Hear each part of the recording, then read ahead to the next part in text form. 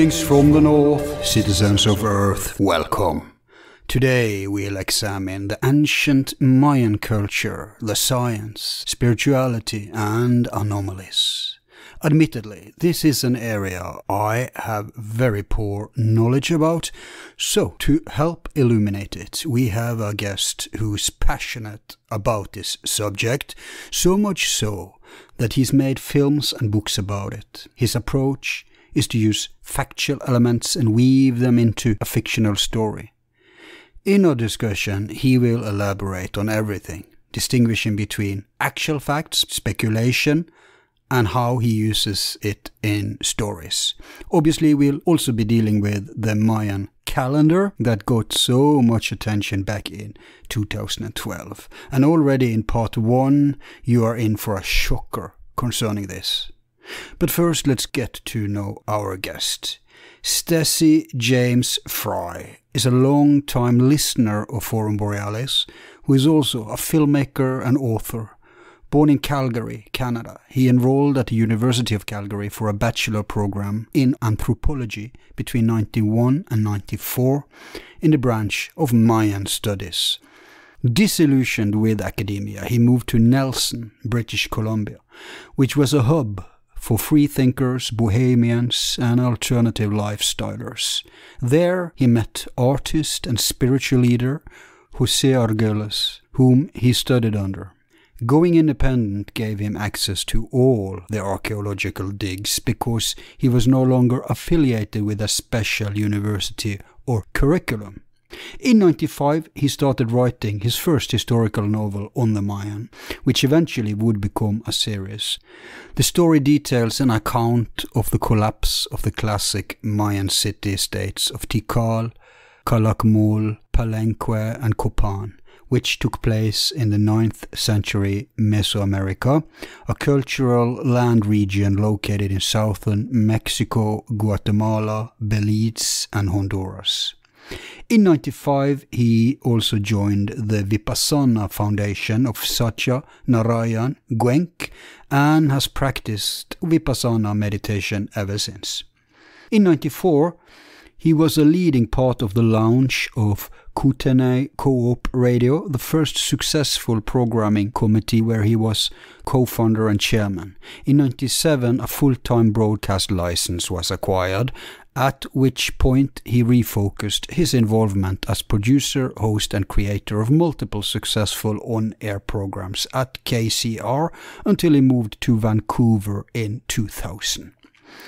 There, he launched in 2001 the publicity division of Granville Island Publishing, a boutique self-publishing service provider. Upon his arrival, he established the publicity, earned media and digital marketing services department, working as their publicity and marketing director until 06. In 07, he became marketing director of Stash Media, when it was just a DVD magazine. However, they saw the writing on the wall for this luxury item, so Stacy Fry convinced the company to apply the streaming technology that he was already familiar with, making them the first global content streaming platform. He effectively saved them by initiating this world first subscription based streaming platform so that they eventually would become essential for the VFX and animation industry. Incidentally, an executive of Netflix asked them in detail about this technology, which gave birth to Netflix as we know them today, since they went off to copy this business model, changed it from dropship DVD to streaming platform, and this technical director is credited with creating quote unquote Netflix updated business model in 08. Meanwhile, Fry became associate publisher of Stash Media and produced and directed all the viral video adverts, managed their subscriber base and expanded market presence and streamlined online buying process. In 08, he left Vancouver and embarked upon his new lifestyle, traveling the world. He first taught Mayan anthropology in Ukraine at the Kiev Mohyla Academy and created a curriculum for PhD anthropology students specialized in Mayan cosmology. In 10, he created iTrouble, an online social network for owners and users of ebook technology, offering access to all ebook catalogs from ebook producers. In 11, he incorporated Mayan Media, where he serves as president and chief executive officer, and legally assigned his novel series, The Mystics of the Maya. This company focuses on the development, acquisition, and packaging of scripted and factual TV and streaming series, documentaries, feature films, and TV studio production infrastructure, graphic novels, internet streaming technology, digital gaming, thematic social media projects, and other entertainment media related markets. The current slate includes science fiction, fantasy, and period drama, TV, and feature films. Maya Media is also a white label supplier of mobile PC hardware devices for corporate brand label and product incentive users. In 12, he produced Tree Planter reality TV series. In 13, he won the Bell Media National Fellowship Award, a program that identifies outstanding professionals in the TV industry. Between 13 and 15, he produced the docu-series Legions of a Lost Civilization. In 18, he became chief executive officer of BC Studios, which develop feature film and TV production studio facilities with rural development focus. And in 20, he became a minority owner and board member of Oceanic, which is an equity fund for TV and feature film studio production and urban infrastructure construction around the world. Currently, he is developing a series on Nikola Tesla called Tesla, Man of Light, together with the producer of the Godfather films and 16 other Coppola films.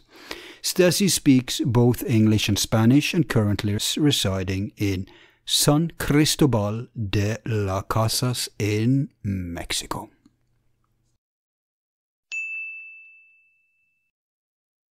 Welcome to Forum Borealis, Stasi. Thank you, Al. It's a pleasure to be here. Uh, so it's Stacy, not Stacy. Uh, actually, here they call me Santi, but yeah, you can call me Stacy. Almost Santa. yeah. Well, it's short for Santiago. and here is Mexico. Although you are all Canadian, you're in Mexico right now.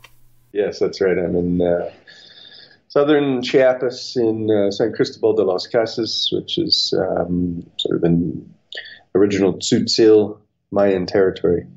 Chiapas, it's part of the uh, Tzotzil, which is uh, one of the um, Mayan dialects, Tzotzil. They're neighbored with the Quiche. Um, so it's Mayan highlands. It's very old territory. It's okay. You know, there's a lot of speculation. It goes back 10,000 years, but confidently 5,000 years. So the town I'm in is a 5,000 year old town, okay. which is nice. Right. It doesn't look five thousand. Okay, very appropriate for the for the conversation today. Yes. Yeah. People have heard we're finally going to deep dive into the Mayan mysteries and uh, going to be a part of our our ancient series. Now, you have an interesting approach to this because you are somewhat of a generalist in this field, something you've, I understand you've been studying for decades and mm-hmm. you've written, folks, he's written, I think it was four books, four books, not, not released them, not even tried to release them, but he's written them, finished. And that's an interesting way to do this stuff. First writing the books and then releasing it. I like it, but w- what's the philosophy behind that? Oh, there's no philosophy behind it. I, you know, when I started writing this, when I started studying it, really, it was just kind of an inspiration to start writing. It's probably most writers would would uh, attest. Yeah. Uh, and then over the time, you learn more things, and you realize that uh, the previous versions are outdated, and you have new inspirations, and you want to include them, and so you go through a second draft and now a third draft, and then a final draft, and I'm sort of in between the third and the final. And um, and there's just so much to know about this subject uh, to make it interesting and credible, really. Yeah. Uh, I made a big push to get things ready for 2012 when that was about to happen. Um, but at the time, I was more involved in film and television world and wanted to get documentary series out. Uh, but they just weren't interested in anything except the kind of uh, wild eschatological sensationalism. So I just never got my documentary series off the ground, which was called The Divine Archive. Because there was so much out there about 2012, and there's very little to peg uh, the end date to 2012, and that I sort of had a lot of misgivings about that. And actually, those misgivings proved to be um, uh, valid. Uh, and I just discovered that recently. So I discussed with you earlier that I had encountered somebody who you may end up interviewing shortly, uh, who has clarified a lot of the problems I've had with the Mayan calendar issue in terms of how the dates work. It's it's it's such a scandal. It's so I don't know the right words because it's so simple and it's so basic. And I have to defend myself here because I've never been, and I told you this, I've never been very into the Native American stuff. Uh, just like the uh, Far Eastern stuff and the Native American stuff. eh, I'm like, like anyone else there. I'm blank almost. My speciality is more the Greco-Egyptian stuff, and things spills over, of course, because there's no hard lines in this world when it comes to these things. But if I had been into that stuff, I would have immediately busted the problem. And the problem, people, one of the problems is that the morons who have uh, translated the Mayan calendar to our modern That's how you really feel, Al. Gregorian calendar, Yeah. they have not even accounted for the, what you call it in English, long year? No, the days out of time. It's days out of time that that um, they just literally did not account for, and you can kind of see why. Hang on. Uh, in- I was looking up a word, sorry. Hmm. Uh, they haven't even accounted for the leap year. I mean, that's such a basic thing. And, Uh-huh. and now you have digged up a guy. Um, what was his name? You can give him a shout out. Lauren W. Jeffries, and I'm really happy to uh, to come across him because it has been bothering me. And I, you know, I'm not a, a person who dives that deeply into the mathematics of the calendar, but it never felt right to me. Um, I'm more interested in the concepts of the ages, the world ages, and you know that's Yeah. pretty much where everybody else sort of sits uh, in terms of the cosmology, because it's really the cosmology and the belief system that drove their civilization, just as it does ours.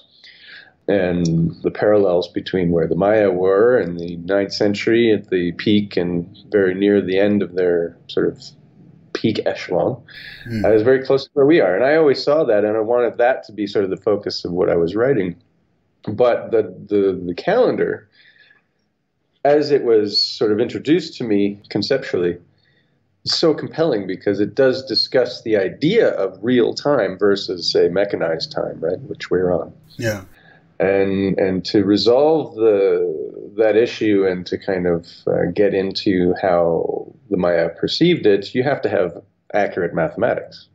You have to, otherwise you don't know where you sit in the calendar Right. or when the world is going. And, and the bottom line, folks, we can go more into this, but the bottom line is that 2012 is not the end of uh, what did they call it, the long count? Uh, Yeah, some- it's it's actually the end of a world age, so it's a long count. They didn't really have a Maya name for it that they know of. Right. Um, there may be some speculation on that at this point. right. And, and John Major Jenkins, I remember I listened to him uh, and, and a few others of these guys prior to 2012, and neither of them were talking about the end of the world. Uh, of course, this was, they tried to put, force it into, you know, the saying about forcing a circle into a square or something. That was what's going on because Mm. this end of the world concept is really a pollution from the Abrahamic traditions, meaning Islam, uh, Christianity, and Judaism.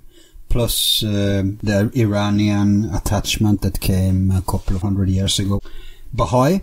Those four religions have the end of the world notions. Nobody else in the world have ever had it. It's completely unnatural. Mm. Everybody else are talking about cycles, including the Mayans. And so the Well, idea. my my head into the scenario. Yeah, sorry. The idea was that the cycle was ending and that 2012 was when the Right. formal change was happening. But even that's wrong.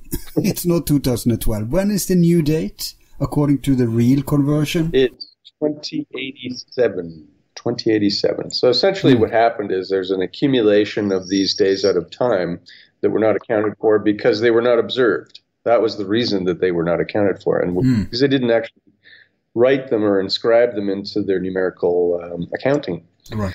uh, when they inscribed them on stone or in pottery or anything like that. So the academics just kind of forgot about it, I guess you could say. Mm. Um, but the Maya do account for it. Now, I think that, that Lauren is probably the better person to discuss all this because he Yeah. has just spent an entire lifetime. But just in general, every 52 years of uh, 365 day calendar um, round, there are 13 days of those quarter days that add up. And that's when they perform their new fire ceremony, and that's essentially just a 13 day period, very similar to, say, um, Jewish Sabbath, where they don't do anything. They don't eat Do, do, anything. do they do they still keep these these traditions? Yes and no. Um, as you can imagine, after you know 500 years of atrocity and uh, genocide and everything else, it's very difficult to maintain the count of days. So there are some tribes that do perform these ceremonies. They don't perform at the same time, so it's essentially their count of days. You know that was where I was, was going because mm-hmm. my question would naturally be when when on earth are they doing this stuff? Because if they haven't, have they converted this stuff themselves? I mean, You know, they don't talk to people. right, They don't right. discuss it. Um, It's only six million left. I read. Yeah, there's six million of them. There's only that's quite a few, but uh, but still, they, they don't really discuss it, and they maintain their traditions in very you know closed doors because you know it's demonized, and it is to this day. I mean, in the town that I'm in, there's still an enormous amount of prejudice against the Maya people, even though I'd say the population split here is about 50-50. And the villages all around are all Mayan, and everybody's living off of Mayan agriculture here. And um, sort of reaping the benefits of their you know their being here but there's still just an enormous amount of prejudice against them here. So they're not going to open their doors and expose Yeah, their- because I mean it's Catholic country, and Catholics are are extremely prejudiced, so that makes sense. Uh-huh. But I would think that they don't they don't they don't call me and say hey we're having a ceremony come on over you know that'd be great you're on their good side. Yeah, i mean you know over time that may happen yeah. Uh, but I am here for the new fire ceremony. So there is a 52 year cycle that is coming to a conclusion, and it will start um, December 21st uh, this year. Mhm. And it is a it is an end of it is a 52 year cycle. So it is one thing that is happening here that I wouldn't be able to experience in most other places. So I'm I'm actually here for that. But uh, th- th- that's a great timing on your part because something very special happens on uh, December 21st, no matter what tradition you adhere to, because it's a it's a basic um, astrological phenomenon, and uh, it's that, and, and it's just weird that it ends up on uh, December 21st this year because that's not a rule that it has to do that, but. It's uh, Jupiter, Saturn, and Pluto are conjunct in Capricorn. hmm Uh, all three of them. Uh, last time I, I think was three thousand years ago, and um, it's a triple conjunction that is said to have triggered the birth of the great empire of Babylon and the Sumerian people, Hmm. and they went on to rule and dominate the world for millennia after. So people are expecting that it's gonna symbolize a new change worldwide. And uh, let's see, what else is there to add? well, this whole business of uh, what is really behind all this COVID stuff and the um, Yeah, vaccines thing, and uh, yeah, it's an interesting timing for that too. yeah, and and to see them making this grand push uh, between you, me, and the listener, Yeah. it does seem to sort of coincide with a lot of uh, what's going on. Now, I've been talking to Lauren about this, going, okay, so is this 75 years, days out of time, uh, accumulated and then lived out at the very end all in one chunk, or is it sort of beefed out, you know, over time, which is probably mostly the case. Although there are, the Mayan tend to have syncopated rhythms, so uh, you know they have 22 known calendar um, systems, but I've already experienced uh, or been led to believe that there's so many more. I mean, they even have calendar systems for microbials. Right. So in one of the villages I lived lived in, it's called the village of Mani, which is uh, a Xiu, Tutul Xiu uh, tribe, which is part of the Itza. This is where one of the characters we're going to talk about, who is the center point or centerpiece of my novel series, Diego de Landa, um, spent some time, and he ended up actually um, doing some horrible things there, which we'll get into later. Um, but they practice open fecalism and have, you know, at least as far as the uh, anthropological record goes back, uh, about two and two and a half thousand years in this village. And that just means that you go into the backyard, you defecate, and, and then you place under place it under a rock, and then uh, to my amazement, the next day there isn't a there isn't even a, a hint of what you've done remaining Wow. and it's because the microbial um, component of the uh, agricultural system they have such a, uh vibrant earth and soil that they've been cultivating for so long Mm. in these places that the microbial um, component uh, takes care of that business and they have a calendar for it as to when these uh, microbials are at their peak activity throughout the day Wow. that's one example Yeah. so I started to sort of uh, get into this stuff more and more. Over time, it really takes a long time. Yeah, but Uh, but stop the train. We're gonna get every stop station on the way. We just have to go there gradually. I'm still at the 21st of December. You're in for a treat because it's probably going to be a clear sky, and uh, on this solstice, uh, you're going to see that it will appear. A very super bright point of light will appear. Uh, it will be two heavenly bodies who almost appear to collide. And that's, yeah, from our perspective, but you're going to see the crescent moon pass Jupiter and Saturn. And all this stuff is conflating in uh, 21st of December. But today we're going to discuss uh, some of the Mayan mysteries. And I'm, like you hinted to, I'm going to have on others for this too. Now, the reason I have you on is twofold. One, like I said, you have studied this for decades, and uh, you gave me a name dropping list, and I, I was uh, fascinated because I recognize some names. Just the fact that I don't recognize most of the names is impressive. because I, I'm very well read in these areas, but like I said, eh, not so much Native American. But some of the names I know and I have great respect for them. So this tells me your information is quality. And also, like you've already said, you are uh, going to try to make your writings into different kinds of production. So we're going to get back to that too at the end. I, I suggest we first start talking in general about the Mayan mystery, and then when we've done that, we go into your stuff and, and let people know the projects you're involved in and all the stuff you want to, to do too Sure. in this area. Yeah, whatever's fascinating. I mean, you know, I listen to your show all the time, so I have great Yeah. respect for for your show. So I'm happy to go in whatever direction you like. Yeah, cool. And I think this is a perfect topic for this show. Uh, it will, uh, to a large extent, uh, depend a lot on your knowledge, since mine is pretty uh, weak. But I'll be able to ask the idiot questions on behalf of me and the listeners. We're in the same boat. Although I'm sure we have listeners who are pretty into this stuff too. So let's Yeah. let's begin with the beginning. Your beginning. Why are you interested in this stuff? How did you become involved? In It really goes back to the calendar.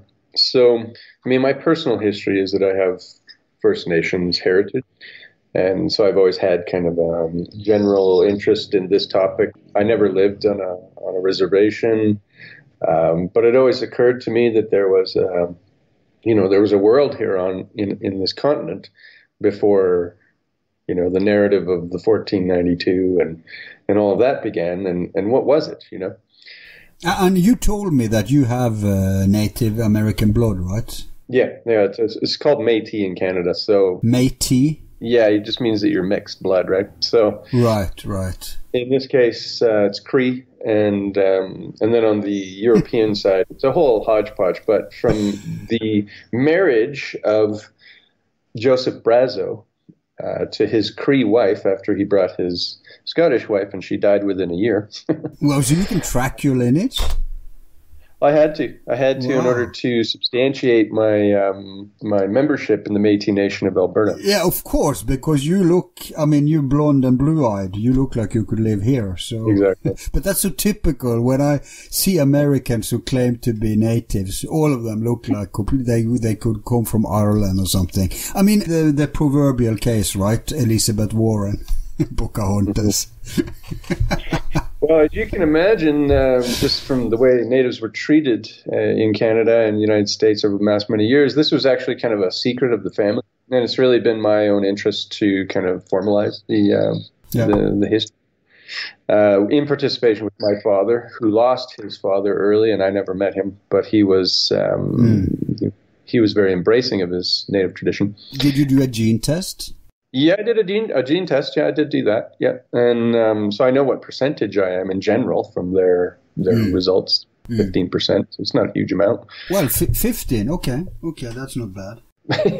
yeah, I But it's still high. worth mentioning, I mean. I score high on the Indian scale, but anyway, Right. No, no. For them, you are like, I'm just yeah, just unpure. so so yeah, so I had to um, I had to find out, and, and it's not easy to find out. So we did have to get uh, in order to substantiate this kind of thing, you have to go through a process. So I had to get what is called a long form birth certificate with my parents Right. listed on the certificate. Then I had to get my father's long form, and my grandfather's dead, and it just so happened that. A member of the family can apply for a birth certificate of a deceased family member after 50 years, and that had just passed Hmm. that demarcation point had just passed when we started taking an interest in this. So it was kind of a, a luck. Otherwise, I would have had to continue to wait for however many years.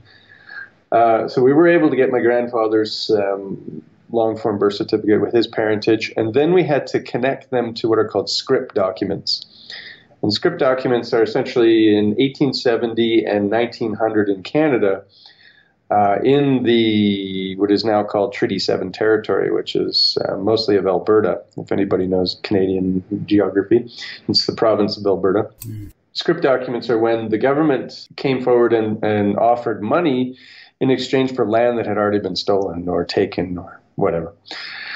And so anybody who was of First Nations, um, you know, uh, lineage uh, came forward for their hundred dollars or whatever it was, and their names were put on a list. And this was kind of a, an easy way for the government to get kind of a clear, clear picture of who was out there, get them on a list. And Right. this was all in preparation, essentially, for the whole uh, um, school system that they were going to employ, which uh, ripped you know children away from their families and put them in, in residential schools, essentially Yeah. and uh, beat the hell out of them, literally. Hmm. That was sort of the theology behind it. Hmm. Um, and so, you know, after they came forward for their hundred dollars and they were put on a list, uh, all hell broke loose and um, all misery broke loose. but I had to connect um, the parentage of my grandfather to names on that scrip document. Hmm. So I did that through the Glenbow Museum in Calgary, and then to my amazement, this whole world of my lineage opened up, and I found many, many names, including some famous people that I didn't know I was uh, related to. Locally famous, not world famous or anything. Yeah, but, but, but don't let it go to your head because uh, most people are actually related to, Yeah. even to world famous people. Like here in Norway, uh, one of the most famous kings in the Viking time is called um, Harald the Hair Fair, and half the population can genetically be tracked back to him. Yeah. Then you have, uh, I don't know, did you listen to the show we did with uh, Scott Wolter about the Templars and uh, Vikings Yeah. in America? The two of the three episodes. Um, You, you, you heard two. So, Yeah. uh, I don't know if you heard where he talked about, no, I think that's in part three, three Jesus lineage. You know, I'm sure half the world can be tracked back to, to Jesus too. well, we're all Adam and Eve. because he has he has a lineage and the same with uh, I think one of the most heritage rich person is um, was one of the Mongols I think maybe Genghis Khan or something he banged a lot of women Yeah, so uh, it, that's very common because we're many now but we used to be few so it's just logical right Yeah, it doesn't go to my head. I just uh, I found it interesting to have that world open up to me, and these were areas that I'd been familiar with my whole life. You know, the Brazeau Dam, the Brazeau River, the Brazeau region, the Brazeau Mountain, all that stuff. Right, and I, right. I'd always known those names and kind of looked at them, and thought, oh, that's interesting. I wonder what this guy was all about. Turns out that's my cool my uh, great great grandfather or whatever. By the way if you listen to part two did you hear my theory about Columbus Yeah. Yes, I did. Yeah. And you know what? It's very interesting that you should point that out because that's something that you should poke at and learn about. Hmm. He, well, I can't remember the specifics of your theory, but it basically, could you repeat it for me just so I can remember exactly? Yeah, yeah, but it's it has to be understood in context of what we know about the Templars, the Vikings, and Yeah. the natives. If we don't have that knowledge, it doesn't make sense. But basically, he expected to find a Templar state. He expected to find survivors. Right. He didn't know what he would come to. It could be like populated as they knew it was. So it could be uh-huh. soldiers, right? Thousands of soldiers. So he had to come by Templar flag instead of Spanish.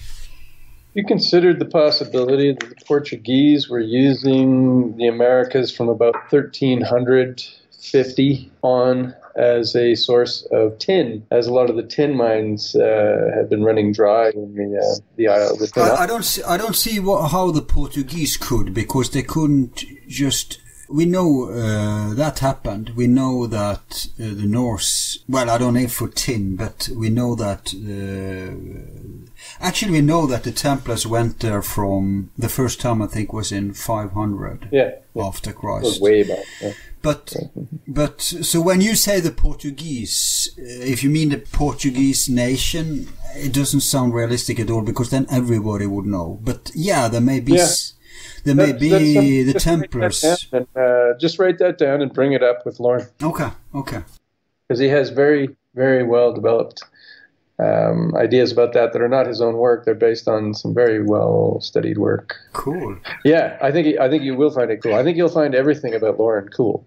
Hmm. I mean, he is old, but he's very eloquent, and you know, if he if you just give him a chance, he starts blowing your mind immediately. Yeah. And to your point of uh, everybody being related to somebody famous, I, the way I look at that, this is a topic of yours, your Atlantis and your various other series, your pre-Diluvian, your all those things. I mean, there were some narrow, narrow points in history where most of humanity was wiped out, and very few people actually made it through them. And we're we're all related to those very few people. I mean, it, a you know, it goes down to some speculation where there may be we're related to all of hundred people. The last time one of these things occurred, uh, potentially as recently as twelve thousand five hundred years ago. Yeah.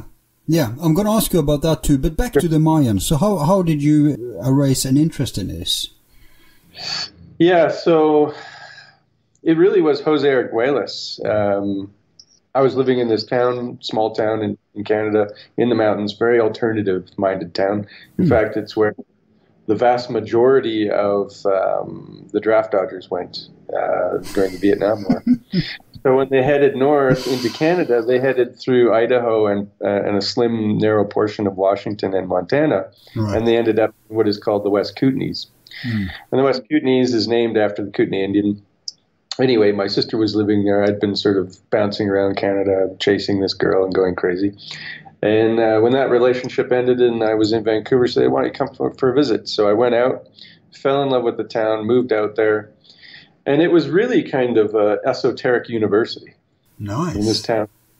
Yeah, it is nice. I mean, when I look back on it, I'd say that was the uh, seminal turning point in my life, moving there, um, because it's essentially just a complete rejection of all things modern, and everybody's more or less experimental Hmm. and exploratory of all the. Um, you know the secret traditions, whether it be uh, the Rosicrucians or the Freemasons, or Hey, hey d- do they have uh, Waldorf schools there? they have Waldorf schools. Yes, they do. I knew it.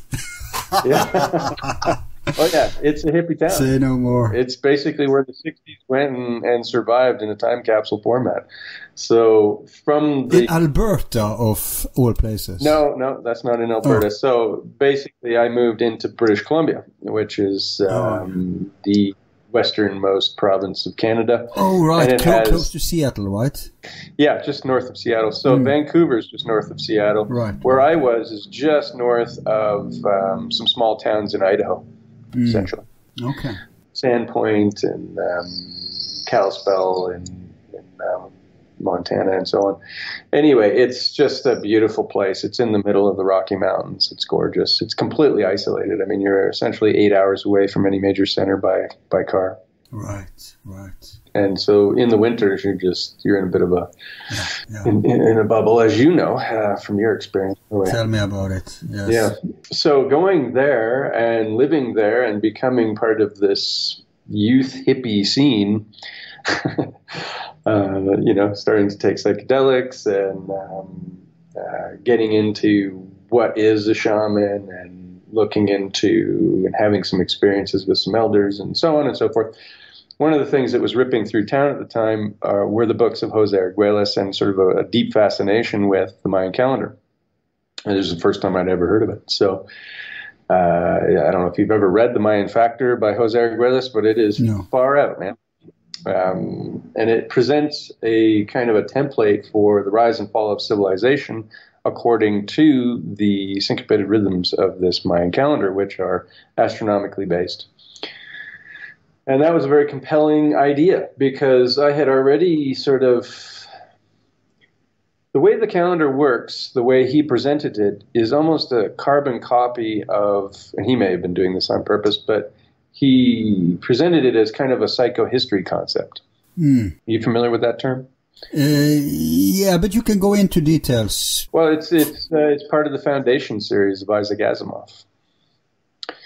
Isaac Asimov um, presented an idea that a uh, mathematician in some you know universe far, far away, uh, probably here, had, had discovered a kind of mathematics that was a predictive model for um, for future history. It's called psychohistory. So it's essentially a um, mathematical based, sociological based, predictive model for civilization. And and that always stuck with me because that was one of my first um, loves was the Foundation series by Isaac Asimov. And so and I don't think I made a direct correlation, but I, I understood the concept really well as far as how José was explaining it. And and it captured me. And actually what happened was because this town is so unusual, it ended up that we, as a group, a large group, not a not a, uh coordinated group, but it became pretty clear that there were probably about three, maybe four thousand people in town that abandoned Gregorian calendar. Were just living solely on the Mayan calendar at that time. And I was one of them. So, you know, I wasn't the uh, originator of that, but I ended up joining in very quickly. It sort of happened all at once. I, I've abandoned it too. Sorry? I've abandoned the Gregorian calendar too. Yeah, I mean, I, I- yeah, how much do you really pay attention to it anyway, right? Yeah. Well, we unfortunately we're forced to because of uh, artificial, like, like 31st of December has nothing to do with New Year's. Just the word December means the 10th month. Des is 10, right? Nov is 9, Oct is 8, Sept is 7. Mm-hmm. And that's a remnant from the original calendar, which is so natural and based on nature. Uh, The Julian calendar, where it says that the 21st of March is spring equinox, and that's when winter is over, sun is returning. Yeah. It's just logical. Spring is here, nature is awakening, the birds are coming back, because, you know, north, the birds are migrating. And so when the uh, Catholics forced us to do the Gregorian calendar, they kind of forced us out of rhythm with nature. And we can discuss how far you want to take that, but there are lots of voices who are claiming that's a conspiracy in order to crush the pagan roots, which the pre-Abrahamic traditions were very tied up to nature, just like the Mayan agriculture, mm-hmm. uh, agriculture society. So that you said they have a calendar for everything. Yeah, exactly. It's a science. It's because mm-hmm. when you live in a cycle-based society, you have to measure everything so you know where in where it belongs in the typology of things, mm-hmm. whether space or time. And so when you cut people off the, their roots and screw with the calendar so everything becomes artificial. They don't longer have something else to cling to, something else to follow, something else to measure by, yeah. except for, in this case, in our case, the new religion, Christianity, and their artificial bullshit dates, which also were theft from earlier religions and contemporary religions uh, when it emerged. And so, yeah, I think it's even subtler than that. I mean, I completely agree with everything yeah. you're saying. But one thing that I really uh, just struck me. I mean, when we're getting into the Mayan calendar at that time, uh, we weren't living on the 360 day calendar or 365 or any of the other components of the Mayan calendar. We were living on the um, Tzolk'in, which is a 260 day heartbeat. Mm. Um, which didn't really change. It isn't out of sequence. It's not like they account for the leap year in that because they don't need to because over time all the um, all that slide out of time that is created by those sort of uh, fractions. Yeah. The Mayans didn't like fractions, right? So they, no. anyway, I'll let Lauren discuss all that because he's brilliant. Yeah. Anyway, uh, the idea is that um, you get pretty intimate with your own rhythms, mm. right? And getting intimate with yourself is when you get intimate with your internal rhythms, and that's when you come to know yourself and you really start to have a, ah. an awakening of, of oneself, right? And that is what is the sinister, dissociative, or dissonant factor of mechanized time. I think that's the sinister aspect of it, the most sinister yeah. aspect of yeah. it. Yes, we are out of rhythm with nature and all of that, but that's an external thing. Hmm. When you um, get into natural rhythms, you're getting into your own natural rhythm and you get into your own intuition and your own thought process and your own feeling realizations of things. Yeah.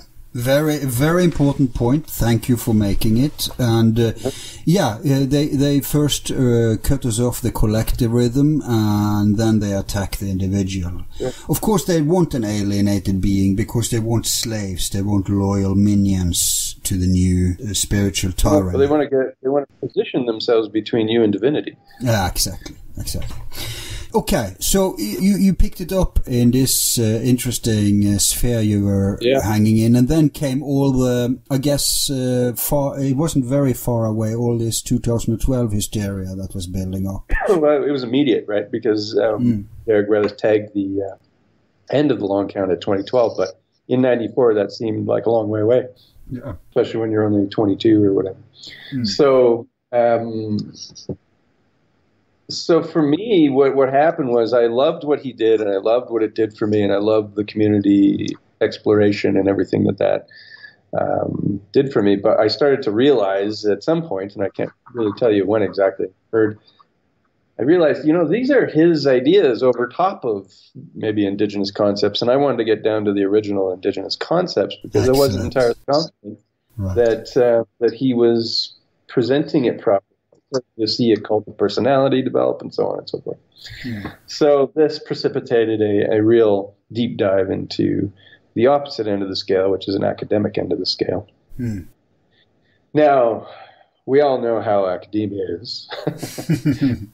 However, um, one of the rare instances where academia isn't as calcified around these dogmatic ideologies, and I say isn't as much because there certainly is, but mm. it's more of a fluid academic world because it's kind of a new-ish phenomenon. Yeah, that always always helps when it's a new thing because it hasn't yet been hijacked by self uh, grandiose dogmatists, popes, right? So, yeah, I'd say that's more now than it was, say, back in '97 when I had this realization that mm. José Argüelles might not be the most accurate uh, representation of this um, indigenous concept. But um, getting into the academic world at that time, it was fairly new in the sense that they hadn't really. You've heard the term "crack the Maya code," I'm sure. Yeah. You've heard that it's a common uh, thing that was talked about during 2012. I'd say that was one of the better aspects of the 2012 phenomenon that did uh, shine a light on um, more or less the um, epigraphy, epigraphers, right? So essentially the uh, deciphering of, of Mayan script. Mm. And that really initiated in 72 in what is called the uh, Palenque Roundtable. Now, geographically, where I'm at right now is called San Cristobal de las Casas, but about two and a half hours away by car. Well, actually, it's a bit more, just because the roads are crazy. But as the crow flies, it's about two and a half hours away. If I could ride a bike or or whatever, straight there, is Palenque, and Palenque is one of the most famous ruins of the classic era. Um, and it's in that town that this Palenque roundtable occurred, and you're going to like this because essentially a couple hundred years of Mayan study had occurred, but the roadblock was that they couldn't read the script. And so, you know, all kinds of fantastic. So, so, so they didn't have, um, ah, what's it called, a stone that they cracked Egypt with. They didn't have a Rosetta Stone, no. Rosetta Stone, right. No, they didn't have a Rosetta Stone. And, and so, you know, all manner of theology had, you know, I mean, this is kind of the nature of, of archaeology is that it's defined by whatever contemporary issues are in play. But, but, but two seconds. We've discussed off air the brilliant Professor Augustus Le Plongeon.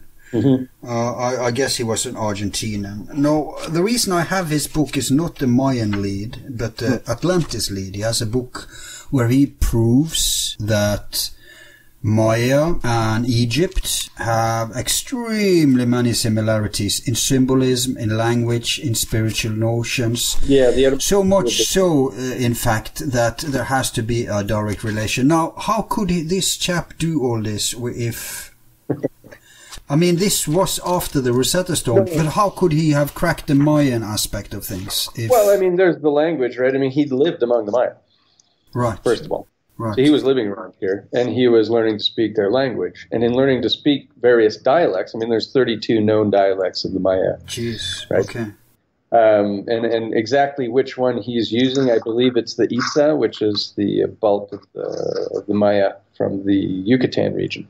Mm. Um, and, and he was really focused on them. And well, that's only one of 32 right? Mm. But was making an etymological etymological uh, association between the uh, that dialect or the two or three dialects that they speak mm. and and these Egyptian words. So that's great.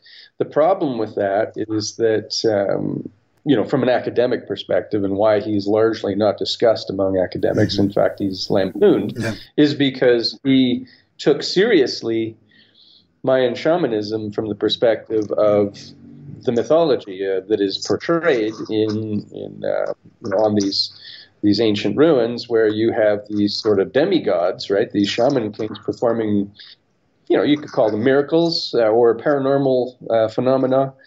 Uh, he took it seriously and almost literally, right? Mm. Um, and so the, he, you know, and that was at a time when the, what was that movement in Europe? Yeah, uh, that was happening. Yeah, the, the, the, the, date for the book is 1896, just so people know what we're talking about. right. about. So that was during the height of the, uh, what do you call that movement? The, the Victorian? Yeah, but it's kind of like the, the whole idea that, well, first of all, the ether science was at its peak back then, so that was influencing, yeah. you know, su- you know, the perspective of the paranormal and supernatural and all that stuff. Uh, demonology and, you know, Gothic period and uh, yeah, ro- romantic exactly. period. We've been through all that at that point. Yeah, just that kind of spiritism that was, you know, oh, yeah. in vogue in, in the Belle Epoque era and the Gilded Age. Mediumism and also theosophy, all sorts of stuff. Yeah, yeah that's right. That's the one I was looking for. Thank you. Mm. So, so he was kind of part of that, and you know how that's more or less shoved aside by anybody in the academic world. So he didn't get much yeah. airtime, let's say. Mm. Uh, but he has the unique distinction of having spent a good portion of his life living among the Maya and spending time around them. And he was the first person, much later in my discovery, that actually took a lot of what I was really interested in, which is the actual science of shamanism, which we can Mm. get into in Maya traditions, Mm. um, and taking it seriously. And, and that was the first one to do it because it had been demonized, right? Yeah. I don't know how much you want to get into that yet, but let's stick with Plongeon. So he was uh, he was he was unique that way. Mm. Even today, if you bring him up with any of the academics, they kind of sneer and go, "Well, you're not going to take it seriously, are you?" Yeah. And you know, yes, of course I'm going to because So, so what uh, decent academics could one read on this area? on on what specific area? Uh, the Mayans and, and the mystics of the Mayans. Is there anyone you would say contributes? No. Um, yeah, well, there's there's Peter Tompkins. Uh, Peter Tompkins, he more focuses on Teotihuacan than the Maya, but Teotihuacan, which I don't know if you're anybody who's in your listening doesn't know, is just outside of Mexico City and was kind of viewed as the city of the gods by the Aztecs as the uh, Is that where that pyramid is? That Yeah. pyramid of the moon or whatever they call it? yeah yeah that's exactly where it is. It's a, it's it's a it's potentially a megalithic site. Right. or at least the under layers of it are. Uh, over top is kind of a more um, traditional classic era construction.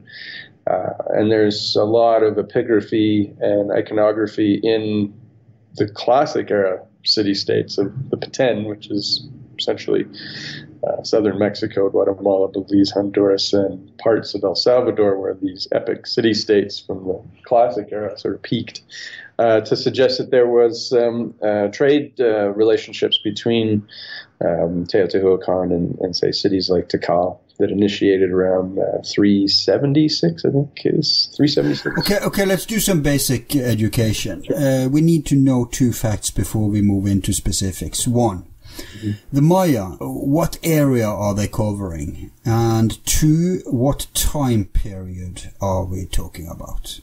Okay, so there's, academically speaking, three periods, time periods. There's the pre-classic, the classic, and the post-classic. The pre-classic is academically concerned with about 1500 BC to 150 AD. Hmm. And then you have a collapse of um, the uh, sort of nation states that had been built up and sort of thriving up until that point. And that's essentially the Mirador Basin, which So, geographically. so two, two, 2,000 years. Yeah, academically, I'd say it go back. It goes back much further, but Yeah. that's my opinion.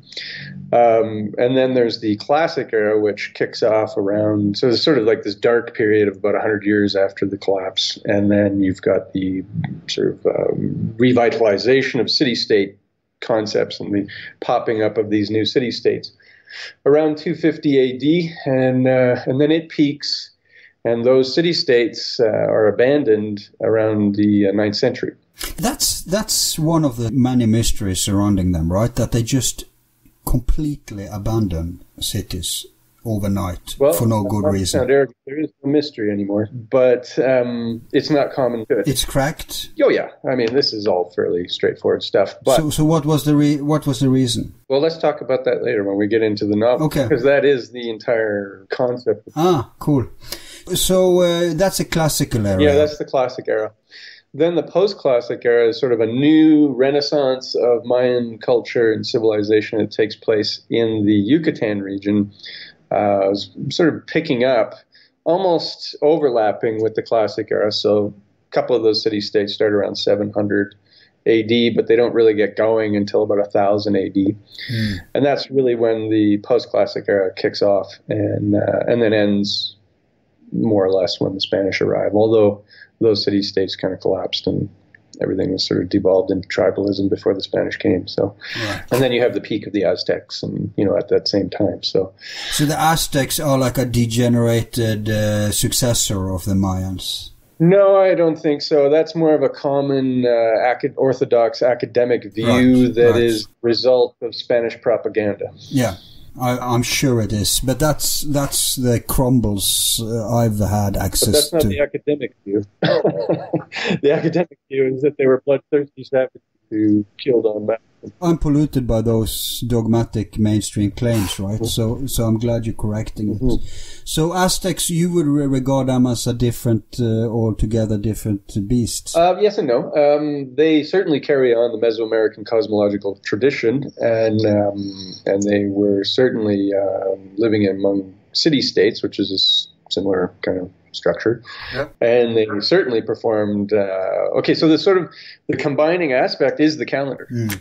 All these cultures, and even as far north as Seattle, Wow. which Lauren will get into, lived that we know lived on what is commonly referred to as the Mayan calendar. I wouldn't even call it the Mayan calendar anymore. So, so everybody used the same calendar. So then it becomes like the Indian system. Exactly. So what I see now in a big picture, like pull back, right? You have, you know, whatever took place 12,500 years ago that caused these megalithic sites to be abandoned and that culture to essentially be erased off the face of the earth, all over the earth.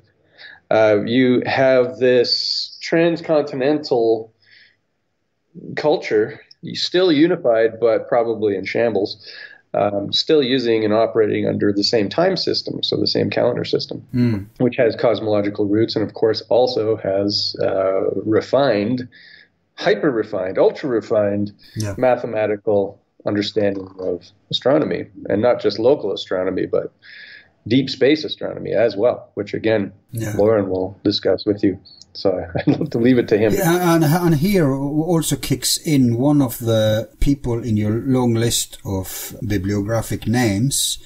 Uh, in fact, there's four people on that list I, I want to interview. One is obviously Graham Hancock, and another one is Robert Bauval. A third one Yes. is Adrian Gilbert. Now these are famous names, and I should have Yes. I should have interviewed them long ago. It's it's a crime I haven't. but there is one more name that people probably don't know, and that's Maurice Cotterell, a Brit. And Maurice Cotterell is among those guys. Yeah.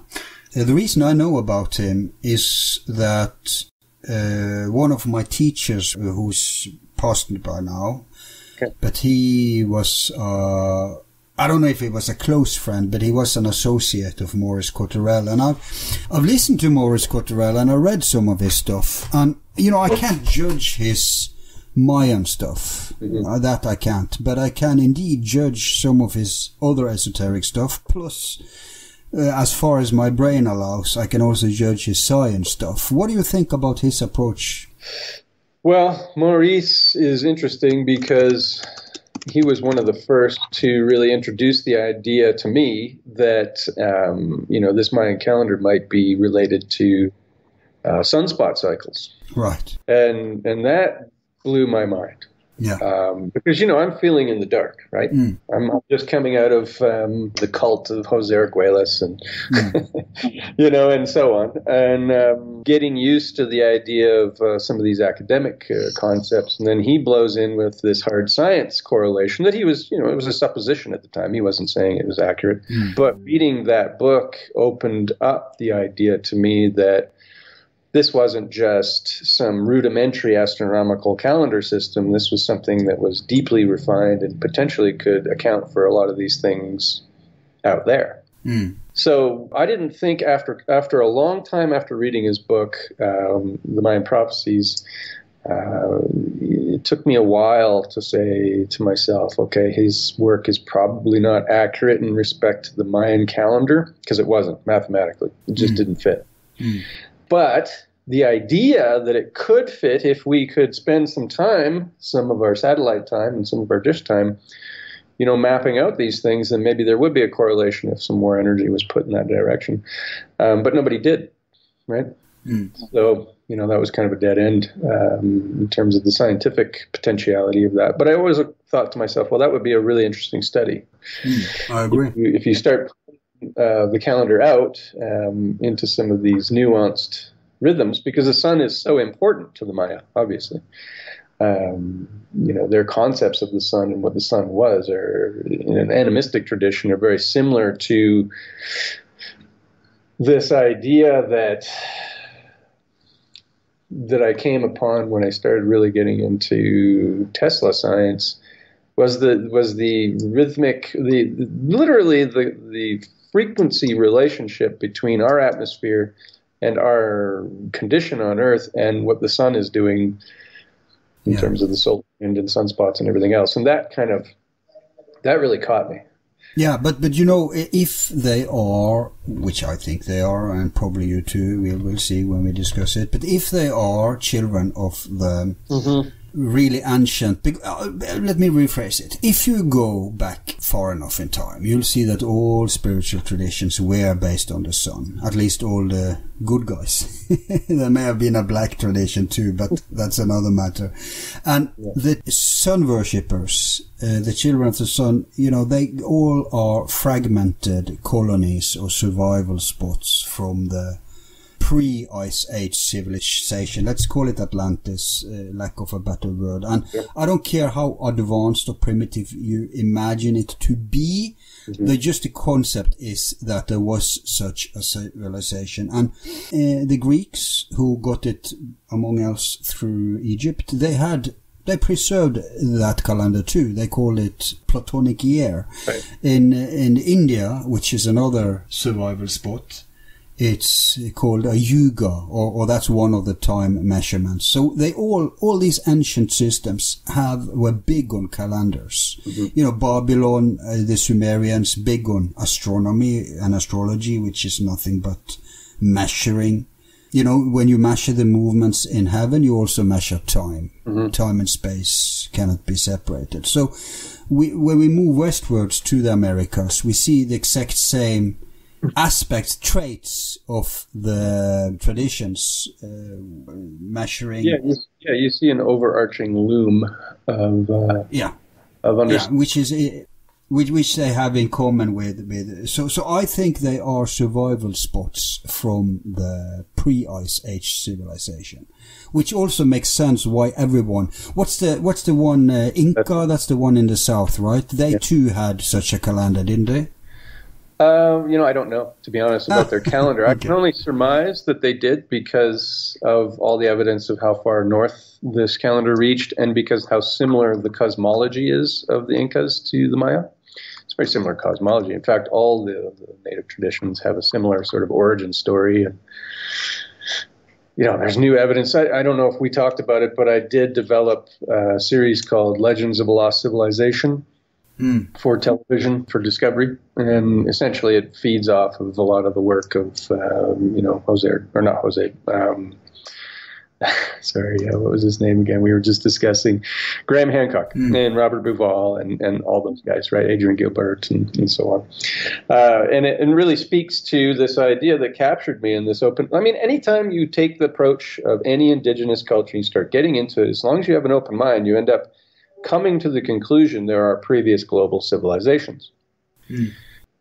If you dive into the forbidden archaeology, uh, as far as the artifacts that, that get shoved aside because they don't fit the narrative, and you start including them in your thought process, you just can't help but consider, um, you know, there's this previous global civilization, possibly more than one.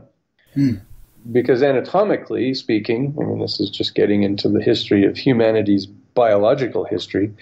Um, anatomically modern humans, so with the brain capacity that we have, go back about 124, 125,000 years, and this is one of No, it's it's Um, it's more now. Now now the I mean the dogmatic approach. It's however far you want to take it. The point is, what have we been doing? right. right? And and you know, if we're theoretically capable of the same sort of brain capacity, thinking capacity, Yeah. tool making capacity uh, for maybe hundreds of thousands of years, or however far you want to take it back, it's a long time. and and so, what have we been doing, right? And then you have the dogmatic side that says, well, if there were these civilizations, then where's the evidence? Well, the evidence is in megalithic structures, for one. Yeah, because that's what survives. Right, and then you consider cataclysm. Uh, you throw cataclysm into that, and I mean real cataclysm. Yeah. Uh, obviously, uh, most everything else is going to get wiped off the face of the earth, right? So, Yes, and and the same would happen to our civilization today. There's nothing we'd be making now that would survive. But this stuff belongs to uh, Hancock and those guys. We don't have to spend time on it, and I I bet most of our listeners are already familiar with this, or at least Not just familiar, I think they're in favor of it too. But before we go on, I asked you. Um, I just the, want to say one more thing, though, if you don't mind, because it gets into the genesis yeah. of the novel that I'm writing. Is like, okay, well, if that's true, we've had these previous global civilizations. We're on the precipice of another cataclysmic event. We have to be, because we now have possession of technologies that we can essentially wipe ourselves out with. Mm.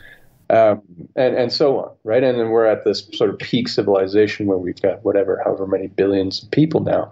It's more or less a, a replay of some of these cosmological concepts. And this fits almost perfect time with the Mayan calendar. And that was another thing that sort of grabbed my attention about all this, mm. is that we're headed for another one of these things. And I have a natural interest in figuring out what that's going to be like. Yeah, and, and I guess 2012 would seem like a good candidate back in the day. But we forgot yeah. to uh, clarify the area because you did clarify the time period of the Mayans. But what sure. what of their area?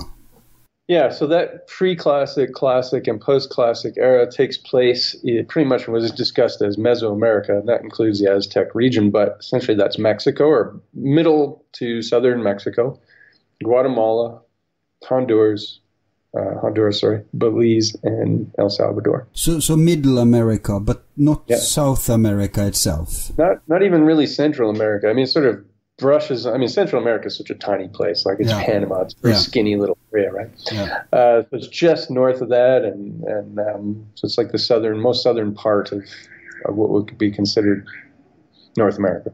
Okay. Yeah. So, what would you say are the mysteries? Uh, and we are all familiar, of course, with stuff like um, ancient aliens. And mm-hmm. before you say anything about it, let me just let me just explain to you my relationship to that. I usually say to people who are not familiar. Well, today everybody's familiar with it, but I used to say when it was going on, I said, "Watch the show." Because they do a good job, especially uh, the early seasons, in putting focus on actual mysteries, especially in terms of um, structures and ruins and stuff. Mm. So they do actually give a good, you know, good footage, good explanation. But then when I try to explain everything, it's all back to the same default. Yeah. Alien, alien, alien, and, and that's the part which you don't have to really relate to if if you're not all in. Well, I don't. Uh, I don't necessarily believe in aliens per se. No, that's that's what I'm saying. So, so I'm saying ancient aliens. Yeah, we can criticize the show for their explanation, but. Mm-hmm. I'm not so concerned. I'm more concerned about the way they're focusing, and uh, they too have spoken, of course, of of the Mayans. Mm-hmm. But this is basically the extent of my interest as like popular shows and, and uh, dogma. So I want your take on like what would you say is re- remaining of the Mayan mysteries, and if it's not alien, then what is this mystery? Well, the astronomy, of course, right, speaks hmm. to a high level of scientific capability. The mathematics of that uh, speaks to you know refined mathematics. And when you have mathematics and astronomy, you know, you can take your cosmology out into space, whether you actually go there or not, um, physically. Yeah. And and so you have this pictography and iconography of that kind of thing. Like one of the things that they focus on in in, um, in Ancient Aliens is the lid of Palenque, which again is just two and a half hours away, and it's the sarcophagus of of this uh, Pakal, uh, who was one of the most um, he's kind of like the Queen Elizabeth mm. of the Mayan. He lived in and ruled for like 58 years, kind of thing. Mm. And his period of rule was considered to be the most uh, fruitful of that era, of that city state. And sort of uh, depicted on his sarcophagus appears to be well, there's two versions of it, okay? There's the academic version and then there's the Ancient Aliens version. And the Ancient Aliens version is that he's in a spacecraft and he's taking off into space. All right, that one, yeah. And the academic version is that he's falling backwards into the underworld after death. And he's falling along the stalk of the world tree, looking up towards the um, firmament of the other world, which he will eventually go to. Now, those are very di- divergent concepts. Hmm. and the reason the academics uh, look at it that way is pretty, you know, founded in some pretty sound investigation. And the basic cosmology of the Maya is that we live in a tripartite universe, and you're going to, as you hear this, you're going to go, oh yeah, this is exactly like the Nordic traditions. Mm. So they they um, you know which feeds into the whole concept that there's this relationship between the Nordic um, tribes and the Mayans and all of, and all of America really. Mm. Uh, so they we live in a tripartite universe. This is represented in the in the world tree, so the Yggdrasil tree, right? In the Mayan mm-hmm. tradition, is called the Wakachan, and the Wakachan, uh, the way it's uh, sort of divided intellectually, is that we live in the middle world, that middle stalk of the tree, and every physical thing that we have in this middle world is a physical chunk of that tree. And that's a very important concept because that's sort of at the root level of what animism is all about. Uh, animism is the concept that everything that is physical has a reflection in the other world above and the underworld below, and we interact with physical aspects, including ourselves and other people and animate objects and creatures, through rituals and careful, careful rituals, because we recognize as a species that we can activate either the the, uh, the dark side or the light side. Right of those reflections through ritual activity. And this, all this is pretty uh, common with other traditions around the world. This is my point. Yes, yeah. this is my point. It's very, very core commonality. Including even the Norse. Uh, we even call it the mid-world where human lives in ancient Norse uh-huh. mythology. Mm-hmm. We live in the mid-world. That's that's the name for exactly. Yeah. That's what I'm saying. So you have the underworld, you have the overworld, basic shamanic concepts. It's true. Right, and and so what happens after death in the Mayan tradition is that everybody goes into the underworld. Underworld. So mm. nobody is spared hell.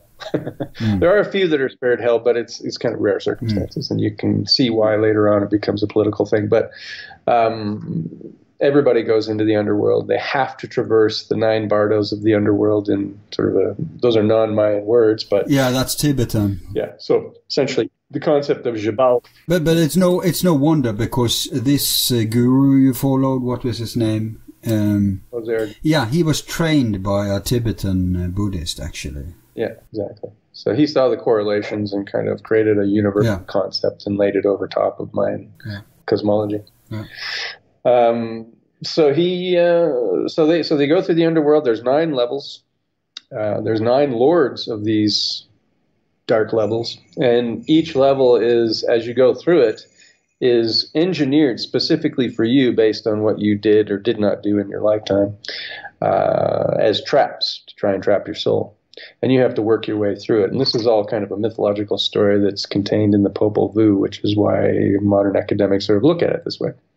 So Popol Vuh is a Mayan um, transcription of Mayan um, spirituality, or yeah, yeah. So the Maya, the origin story of the Popol Vuh is that it's. I mean, you can't say uh, with any confidence that it's a unified cosmology because it it does come specifically from the Maya Quiche, hmm. which are near the Lake Atitlan, which is not far from here. It's about another three hours away, and it's the Quiche Maya, which is a different. Um, tribe and dialect, but uh, when you get into the classic era pictography and iconography, it is a unifying aspect of all the different city states. Mm. So you can say that it's an origin story that goes back not only there, but it also goes all the way back to El Mirador and the Mirador Basin, where similar uh, cosmology has been unearthed um, by Richard uh, um, there. So anyway, getting back to the story. So you go through the nine layers of the night, and the objective, of course, is to reach the base of the world tree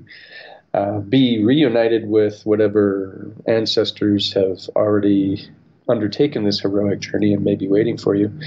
And then from that point on, you have a celebration, and then you ascend up the stalk of the world tree and become a lamp in the night sky. Mm. It's kind of like the yeah, right. Mm. And then from there, you take another journey along the White Road um, to the center of the universe and uh, disappear into this black spot at the end of the Milky Way. That's a cosmological concept. There's some other fun- very interesting. It's the same in uh, many other traditions, Pythagorean, Tibetan. They even knew that there was uh, it's called different things, but a central sun, a central spot in the middle of our galaxy. That's amazing. So, so the uh, mathematics and the astronomy is pretty mind blowing. But what about the structures? Like uh, was the focus of uh, mm-hmm. ancient aliens? The structures are also unexplainable, are they not? Well, uh, you're talking about the cities themselves and the pyramids. Yeah, some of these structures show that. I mean, they think it's made by aliens, but show that it's an advanced cultural uh, project. Yeah, well, it is definitely advanced. I mean, this is really fairly modern understanding as far as the whole, you know. But could it be could it be built by slave labor and whips like they imagine um, in Egypt? Yeah, well, you know what I like to correlate. Um, the Mayan pyramids around is the whole concept of value and the storage of value. So, you know, we talk about gold, right, as kind of a traditional storage of value. It has no real, well, it has some intrinsic values, right? Mm. Um, but it's a concept of storage of value. So, let's get into that. So, here you have pyramids that are being built. Now, it's fairly modern understanding uh, that these pyramids are arranged according to astronomical phenomena specifically for the observation and maybe even calculation of those phenomena. So you're not looking at a downtown center the way you do at New York City. You're looking at a downtown center that is, is an astronomical clock. Mm. And every city state is positioned specifically around where these alignments, so geodetically on the Earth, uh, it, these are the best vantage points for observing very specific astronomical phenomena. And that's why every city state had its own patron deities because there were certain astronomical phenomena around very specific bodies in the sky that these alignments occurred around so that they were the best vantage points. So in Tikal, you had Tlaloc and Venus, and in Calakmul, you had Mars, and and there. Amazing. The same was uh, the case for the Greek and Egyptian uh, paganism. Mm-hmm. So the very this was common practice all over the world, obviously. Yes, this is my point. This is exactly what I'm. Hmm. Um, and you know, this is fairly well known. It's sort of a field. It's called archaeoastronomy. It's kind of a new field. It was considered quack for a while. Now it's not. It's more or less entered into the mainstream. Yeah especially in, in the Mayan world, uh, around, uh, say, Susan Milbrath and Anthony Aveni. Uh, those are two that do a pretty good job of explaining it. I would say Susan Milbrath is the better. But then, because they're working with inaccurate uh, calendrical sequences, their observations are a bit off, right? Hmm. And this gets back to the fact that we're really still breaking ground when it comes to the calendar and the way these cities work. And that's where Lawrence uh, and his um, um, Confederates are going to come in and blow people's minds. So, so just back to the concept, these are cities that are built around the idea that you have a tripartite order or tradition of shamans, daykeepers, and naguals. Mm. Everything's in threes, right? You've got the middle world, the underworld, and the other world. Mm. And you've astronomical, astronomical um, institutions and shamanic institutions, and then the institutions of transcendent consciousness, which are the naguals. Some people think it's the shaman, but when you get into the Mayans, it's actually the naguals who sort of take the two. So the shaman is their purpose in the Mayan culture is to um, they're kind of like the gardeners, right? They go out and they they figure out what you can eat and what you can't eat and what are going to blast you off into space as far as like psychedelics are concerned and how that sort of uh, how you combine those things right? Because that's a deep science. That's not mm. just some silly thing. And there's thousands of them. And so they work on that tradition. And they're also the medicine men right? So they actually do practical they're the physicians right? Mm. and then uh, then you have the day keepers which are the astronomical timepiece guys. So they actually observe all the astronomical phenomena and they uh, maintain the order and the keeping of days uh, and all that. And then and they write it down. So they had a, a, a writing system that was more or less destroyed later on. But anyway, hmm. getting back to that, the naguals combine the two. They're the people who know when, where, and what in order to blast off into this transcendent consciousness and do magical things that our friend, uh, how do you say his name anyway? Because I've never figured it out. Augustus Laplante. Uh, yeah, if it's French, I mean, he, he was Argentinian, right? But it sounds uh, French to me, which would be plongeon, but Plongeon. I don't know how the Spanish would say it. But anyway, well, I'm sure he said it Le Plongeon because it was French and everybody wanted to be French. So, Yeah. um, so he he he was the first one to take the nagualism seriously Mm. uh, and to indicate that this is a science that actually was real. And uh, of course, he got blasted for that, and uh, I don't think he cared, but you know. Yeah. Uh, I wouldn't care, but anyway, he's he he's the first that I ever found uh, that took it seriously, and that is the idea that through the science of time and place and substance, one could do magical things, seemingly magical things, um, and the three together uh, formed a an order, a tripartite order that was, you know, obviously elevated to its status for the sole purpose of guiding civilization through the trials and tribulations of an animistic society and um, and governed the the entire thing. So, so that gets into kind of what the Spanish encountered when they came here, but. That peak of that civilization, uh, as far as we know, took place in the ninth century, in that Middle Classic, in the Classic era and and lived and breathed in these ancient city states like Tikal, which I would consider to be the Rome of, of the classic era, Right.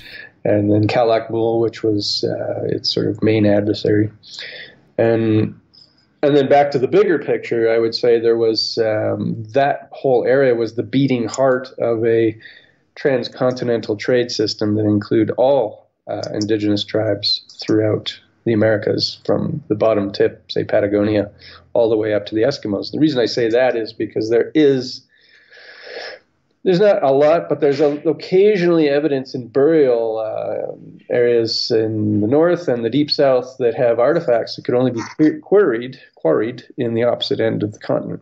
In the what now? Okay, so you have a. Let me just say that again. So the let's say you've got a bury uh, burial in uh, the Eskimos area, and you have a burial deep down in the south, in the bottom tip of the uh, Argentina, which is called Patagonia, and they both contain artifacts that could only be made and quarried that were known to be perfected and quarried in the opposite end of the continent. Right, right, right. Yeah. So this indicates the possibility, at least, of a of a, a transcontinental trade system and and uh, you know that kind of thing. So Yeah, I was going. I was going to ask you about artifacts too. I mean, there's so much when you regard the old civilizations that really. I mean, there's so many things that just blows to pieces. uh, whatever you learn in in uh, the public mainstream schools about Yeah, these things, and, and and the artifacts is one of them. I was also going to ask you about these so-called skulls. You know, that's often something people think of when they hear about these things. What do you think about these skulls? the what? The skulls. Oh, the skull. Yeah, the elongated skulls. Of course. Oh yeah, yeah, yeah. No, yeah, yeah. Those two actually. Uh, I was uh, thinking about the crystal skulls. Oh, the crystal skulls. Yeah, that's a mystery. Uh, I don't know what to think about that, to be Okay, honest. okay, Uh, fair enough. because because yeah, they could be the indication of an advanced science. But if that's the case, I think they go much further back. They don't go into the Maya. I think they go into that uh, megalithic uh, era. Because there's clear indications in all the megalithic sites of uh, some sort of drilling capacity uh, through the hardest stone Yeah. right?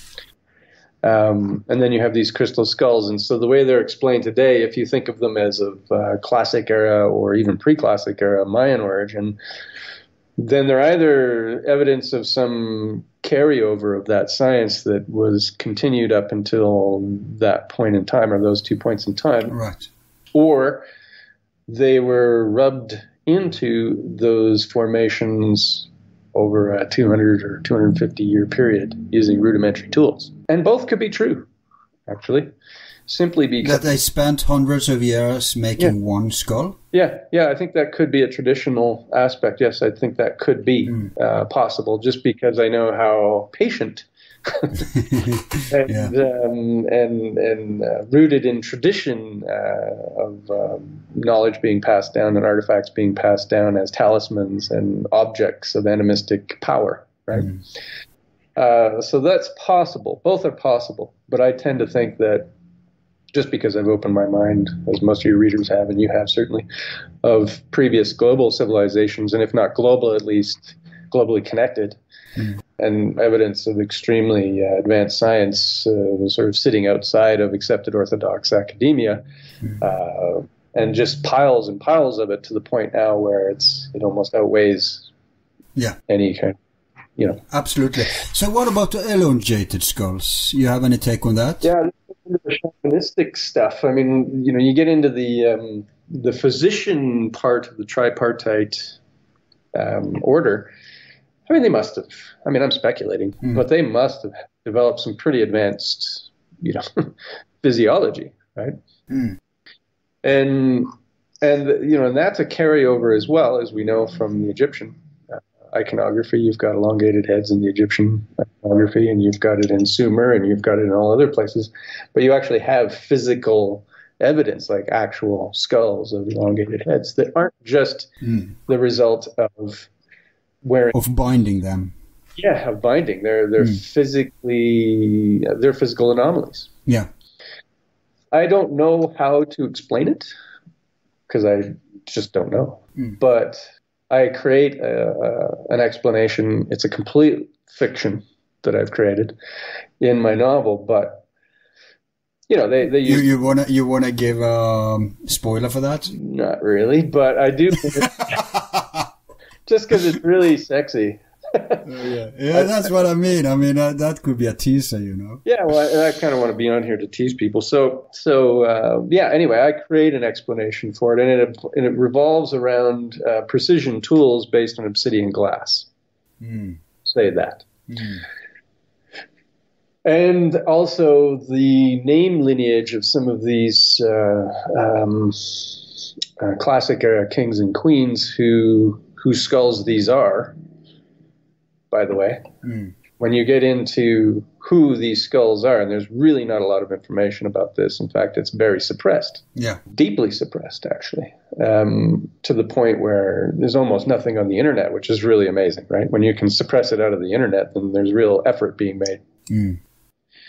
Uh, so there are a lineage of kings and queens around the sixth century of uh, the Mayan uh, classic era uh, so 6th century AD, 600 years after Christ, in the city states of Tikal, Palenque, Copan, um, Calakmul, Caracol, and a few others that are sort of sub fiefdoms of those major city states, where these elongated heads were dug up. Mm. And they are not humanoid, really, because there's really a lot more skull material there than should exist if they're human, right? Well, well, well. They may not be human, but they are humanoid indeed. Yeah, that's what I mean. Like yeah. they're clearly human, but they're not, mm. as we understand it, anatomically. They, they, they may belong to an ancient race too, because I mean, people think ethnicity is diverse now.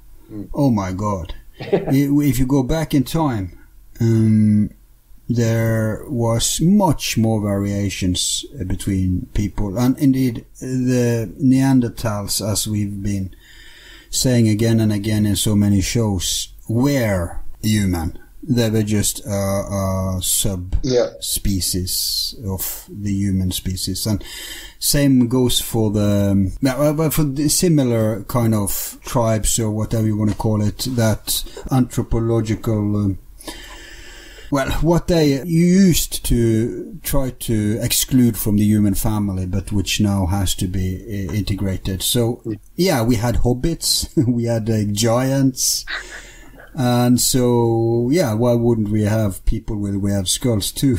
Yeah, there's even a skull with horns on it. Oh, think of it in terms of a, a strange surgery. Yeah, but these are like you said, these are not just strange surgery, right? So Oh no, no, there's evidence that it could be. Yeah, because there's fusion. There's skull fusion. Yes, some of them are are from this practice where they try to shape the head, but I, no, no, no, no, no, no. Imagine putting a second skull, cutting open the skull, Oh, planting a second brain over top of the other one. Now, whose brain would you do that with? geez. You'd do that with your. Gee. It, it's like you get into the whole concept of, of Mayan cosmology and you get this whole veneration of the ancestors that is so deep. So you would take your father's brain? Maybe. Maybe. Wow. That's a new. That's a mind blowing. I never heard that before. Yeah, well, that's a spoiler. So again, it's fiction. I mean, it's like just my imagination, but Right. this is based on some fact. Right. Right. And it's based on a on a fact of, of uh, what I would consider to be a fairly deep understanding of their veneration of the ancestors Right. and how that works. Mm. Right? What is one of the most frustrating aspects of our lifetime is the fact that we just get wise enough to understand how life works and then we die. That's pretty frustrating. Yeah, that's a bummer. Yeah, we should. I mean, if we had like 200 years, I think that could be enough. Well, what if you conceptually could inherit your ancestors' knowledge in a literal fashion? Yeah, but you still waste so much time in um, the first 20, 25 years, right? At least in this culture. I mean, what if you could put your father's brain on your head and the brains would fuse and you would actually have access to their understanding post death? Yeah. That's sort of the concept I play with. Mm. And there's reasons for it. And it's kind of a perversion in it that takes place in a certain period of time. Yeah, yeah. You know, let's let's get more into that in part two. Yeah. sounds very creative and interesting. But let's uh, complete the Mayan thread before we uh, take a break. Sure. So the skulls and all that stuff. That's um, you know that belongs to some of the more ta- uh, should I say folk mystique. But when we talk about the mystery of the Mayans, I'm guessing we're also referring to mysticism uh, and uh, mystery in its original sense doesn't mean weird phenomena and unexplainable facts. It actually refers to uh, kind of a spiritual approach, more direct approach to the numinous. I, I guess that has an aspect in this uh, usage that you, you use it for, at least uh, the Maya mysteries. I guess that's an aspect too. I mean, shamanism and stuff like that. Yeah. Well, the name of the novel series is Mystics of the Maya, which Mm. obviously is mysticism. And the mystics, right? The mystics. Um, Mm. The Palenque Roundtable, and then who contributed to the modern understanding of Mayan shamanism traditions and so on. So, getting back to kind of the origin of that and, and who provides the best information uh, that I base all of this on, sort of goes back to two things. Earlier, we were talking about the uh, Palenque Roundtable, but I didn't really sort of flesh that out. Mm-hmm. So the Palenque Roundtable was this event, and like I said before, uh, Mayan study had sort of, you know, it ran up against a, a rock wall, if you will.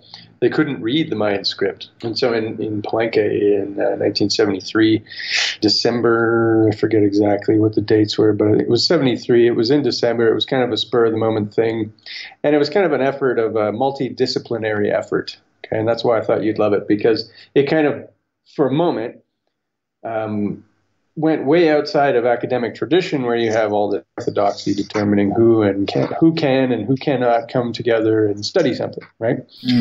Um, this was kind of an open door thing where they had universities from all over come by and disciplines of various types. Uh, can't speak off the top of my head exactly what they were, but you know, art history and Mayan archaeology and you know all these other disciplines and they came together and it was really in that meeting and the results of those meetings uh, in 73 that the rosetta stone for the mayan script started to form. And a lot of it is based on the work of a character that i spoke about or i can't remember if i mentioned his name but it's uh, diego de landa and this is where my novel starts. Mm-hmm. But I won't get into that yet. So essentially, what happened is they started to understand a little bit better the phonetics of this epigraphy, and they started to understand what were numbers and what were vowel sounds and what were, you know, concepts, right, in a mm-hmm. epigraphic form. And there's other words for that, but essentially in the, in the epigraphy. And it's really been since then that uh, systematically all the different um, glyphs that are represented not only in the, uh, the classic era uh, city states and inscribed in stone, but also in all the pottery, right, that's been discovered. Mm. They had um, really uh, beautiful pottery and, of course, painted on there um, all these different uh, mythological imagery. Uh, so, really, the answer to your question of who contributed the most to the understanding of Mayan shamanism is the Mayans. Mm. And and this is the point I want to bring up because this goes back to also that, that series that I was discussing earlier uh, called uh, Legends of a Lost Civilization, and then previous to that, the Divine Archive. you know, there's all these new agey kind of people out there, especially around 2012, sort of pontificating uh, about this, that, and the other thing, and and not really giving a lot of credit to where they got their ideas, mm. and where they were getting their ideas were from the Maya. Mm and and uh, the Maya depict in eloquent detail, in an enormous tome of, of uh, epigraphic and pictographic and iconographic record, these very very paranormal looking um, and supernatural appearing concepts in stone and on pottery, and it's really from them. That, uh, that I started to understand and, and sort of break apart and come up with this tripartite order and their various uh, duties and positions and how they related to each other and, and started to form kind of this picture of who they might have been, right? Mm. I'm not going to say that I understand it completely because uh, that would be stupid. But, but but, but but what is the tripartite order of yeah, the Mayan priesthood? It's the uh, the shaman, the daykeepers, and the naguals. The shamans, the daykeepers, and the what now? The naguals. Okay, naguals. Do you okay. know what naguals are? No, I have no idea. I'm probably not 99% of the listeners either. okay, so let's get into that. So back, so just covering that um, that issue, uh, the tripartite. So the shamans again are kind of your physicians. Mm. They're your medicine, and they also make a science of all the different you know, and by nature of that position, they understand all the uh, potions and mm. herbology and combination of uh, you know things in the forest and everything else that'll help with right. not only um, uh, health and wellness, but uh, sourcing all these psychedelic um, substances.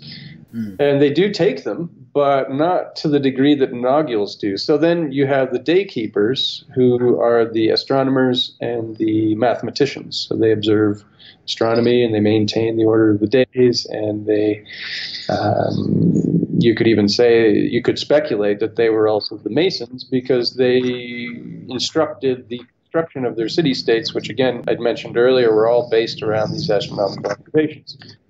So they were timepieces. That's what these city states were. They were buildings constructed specifically for the observation of astronomical phenomena along predictable mathematical uh, calendrical systems, and um, and then using that information to elevate themselves into kind of a status of a, of a magician, right? Because you've got the mm. you've got the um, the common people who you know ignorant of these things, and and yep. you know that that division is maintained on purpose, and then you have this the initiates. Yeah. But who are the Naguals? So the Naguals are supposedly folklore, right? Religion. Mm. It's a human being who has the power to shapeshift into various animal forms. You know, it's been demonized, right? Uh, mm. It's a widespread superstition, right? That um, mm. Naguals made pacts with the devil, uh, you know, and all that kind of crap. But the reality is that they were the ones who combined place, time, and substance in order to, um, and substance I mean by uh, the um, tradition of psychotropic drugs mm. at various places according to the astronomy, at various specific times according to the mathematics of the calendar, in order to perform. So, so they were psychonauts. They were psychonauts, exactly. Very good word. Okay. Exactly. Yeah. Okay. Psychonauts. Because you see, th- this three divi- division that you're operating with here is the same in other ancient spiritual traditions. Mm-hmm. So, so that's very fascinating. I'm learning so much about the Mayans now because everything you tell me, I can just it falls into place when I perceive it from the filter of the stuff I already know. Mhm. So um, Yeah. it's it's just amazingly similar. It is amazing, isn't it? I mean, that is one of the first things that struck me as I began this journey because, like you, I've been involved in, you know, studying Eastern mysticism, the, the Vedic tradition. No. I never. sorry. Oh. I never would claim that I studied Eastern mysticism. Well, you know, I studied Western. Western mysticism is my strong point. well, you have a cursory. But but that that's you know if it goes prior to the Abrahamic religions, mm-hmm. it's completely the same as in, for example, in Europe, all the pagan traditions has nothing to do with Wicca and that modern invention bullshit. It's the same as Hinduism, basically. And Hinduism is just an umbrella term for all sorts of ancient spiritual traditions. So within Hinduism, you'll find very conflicting stuff, stuff that doesn't even go together. Mm-hmm. So it's just an, people think Hinduism is a name of a religion. No, it's a name of a form of worship, hmm. which is pre-monotheism. Uh, and it was the same in Greece, in Scandinavia, in Egypt, in Celtic, in Germanic, etc.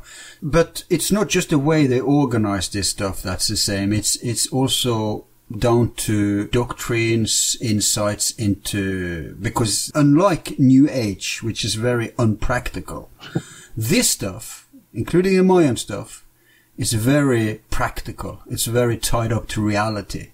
Like you say, mathematics, astronomy, herbs, uh, all sorts of stuff that people related to and had access to in, in those times. So it's the same all over the world in the broad essence of stuff. Sure, there may be some symbolic differences, some uh, terminology differences, of course, different language, different cultures, and, and also different areas with time specializes in aspects of what survived from the pre-ice age mm-hmm. civilization. For example, the Babylonians and the Sumerians went very far in terms of astronomy, mm-hmm.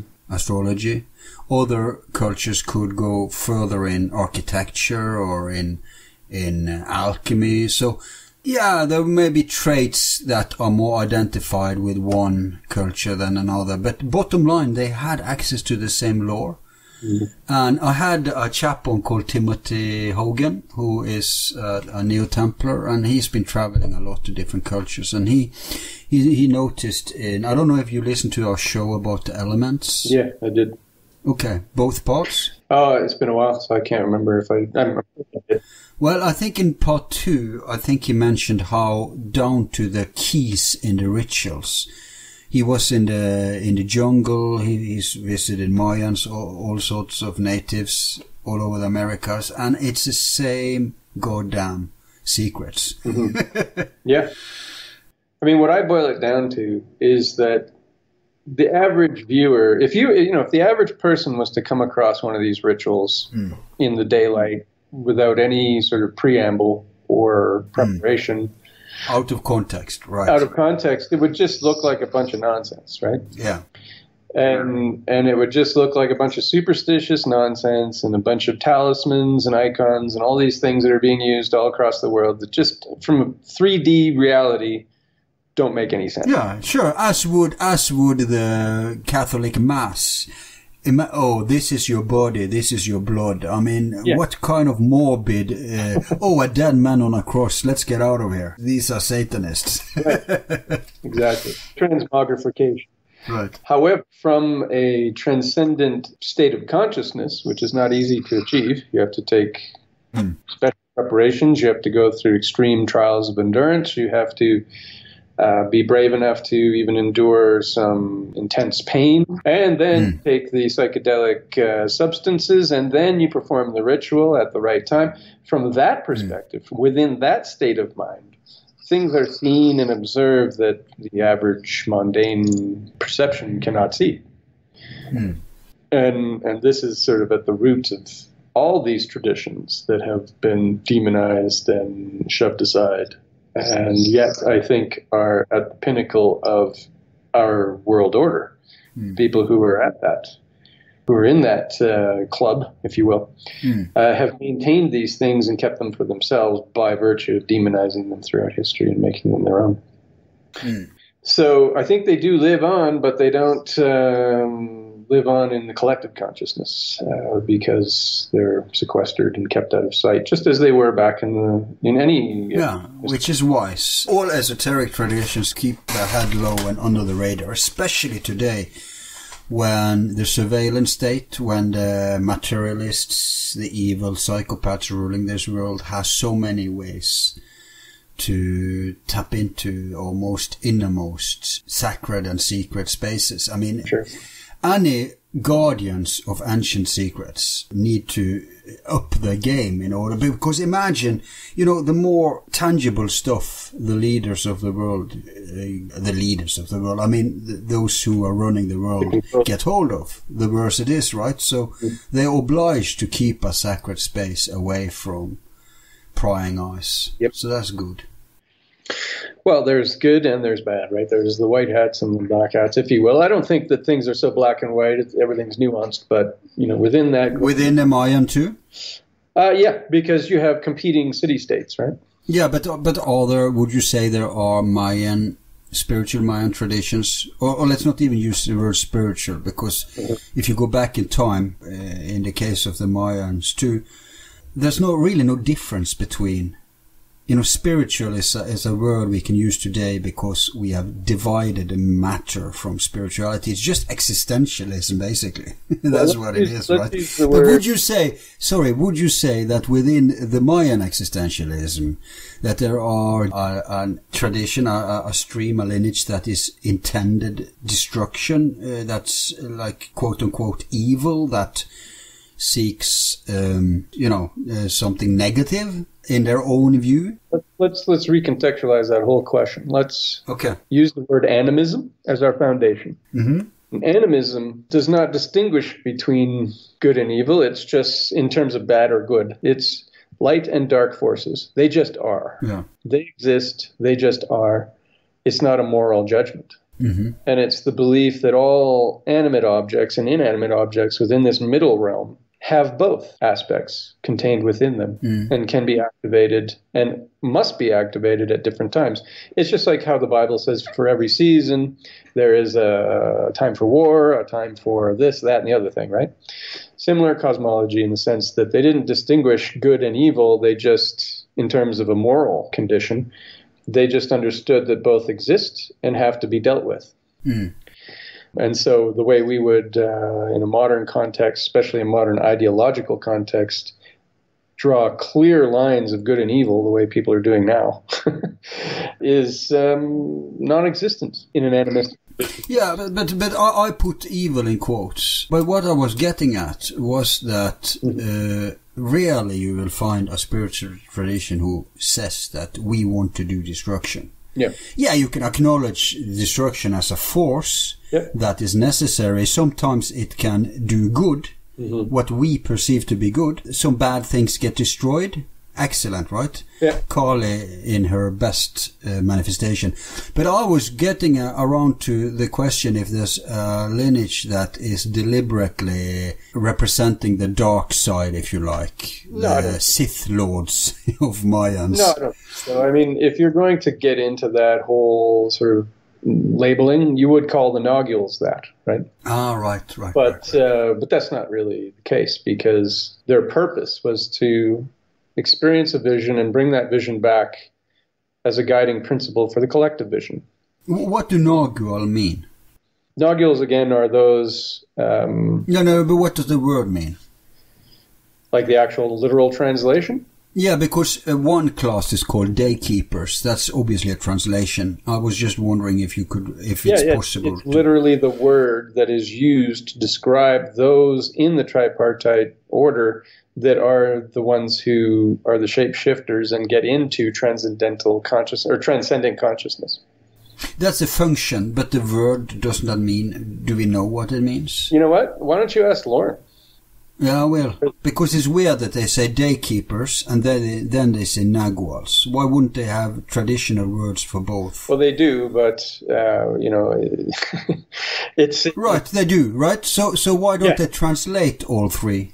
Well, they do, but again, there's 32 dialects uh, just in the okay. Mayan tradition, and then you have all the mm. traditions of the Toltec and the Aztec. I mean, if you want to get into the word that they use for every single one, yeah. we could spend all day on that. So, but essentially, the universal meaning is magician and the person who is capable or the practitioner of transformation physical transformation.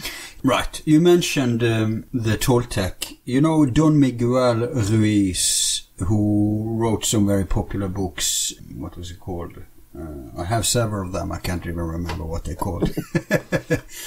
But pretty basic philosophy, but based on the Toltec. He claims he is for, of a Toltec lineage. He says that the Toltecs wasn't a tribe. He says it was a priesthood, basically, and it's a class of initiates. Mm-hmm. It was basically an esoteric order, like the tripartite order. Yeah. Mm-hmm. And so, okay, so so you agree with that statement then? Mm, I don't agree or disagree. I can't say because that's not my uh, field of expertise. Right. You know, I'm uh, I'm a Mayan. Um, I focus on the Maya and to a certain degree uh, the Aztec or what became the Aztec, the sort of origin of the Aztec uh, that existed around uh, Teotihuacan in that that um, central period, that uh, classic era. I'm just wondering if the Toltecs is the same as the tripartite order, or if it's just an alternative version.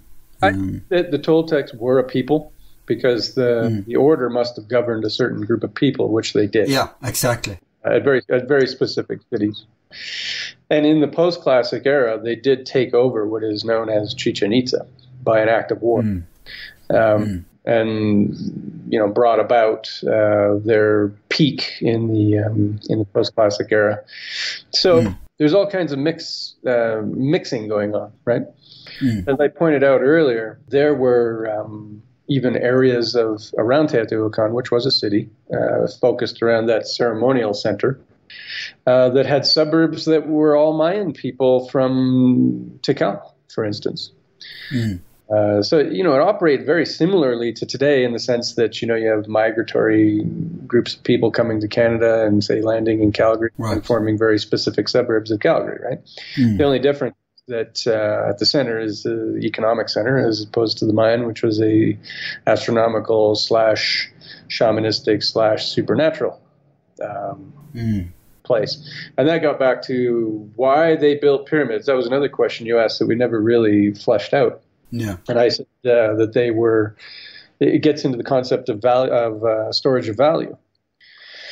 So where today we have gold, for instance, that is a storage of value, and we have fiat currency and all that, you know, uh, it is a magical concept, right? Because it's just by collective acceptance these things have value. Mm. Similar in the Maya tradition, these city-states, even though they were built as um, you know, astronomical centers, they were reskinned every 20 years, every Katun period, um, with a new layer and every 52 years and every 104 years and so on. Mm. And that meant that they were actually building up their storage of value, supernatural value, power, literally. Mm. Mm. Uh, on a cyclical basis, um, very similar to the way you would stockpile gold, for instance, or um, you know, this in this modern day, you might look at Bitcoin, for instance, uh, as a as a massive storage of value because it has a finite um, amount, and because uh, it's an ever increasing demand.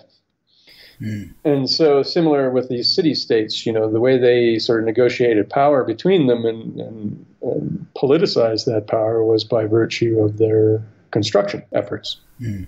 And those mm. construction efforts were suppository of of um, power and of course, in the collective conscience of those people who were the um, uh, citizens of those places, they spent a lot of time and energy investing in the buildup of that power by continuously adding to their construction, which is why they have kind of like a layered approach.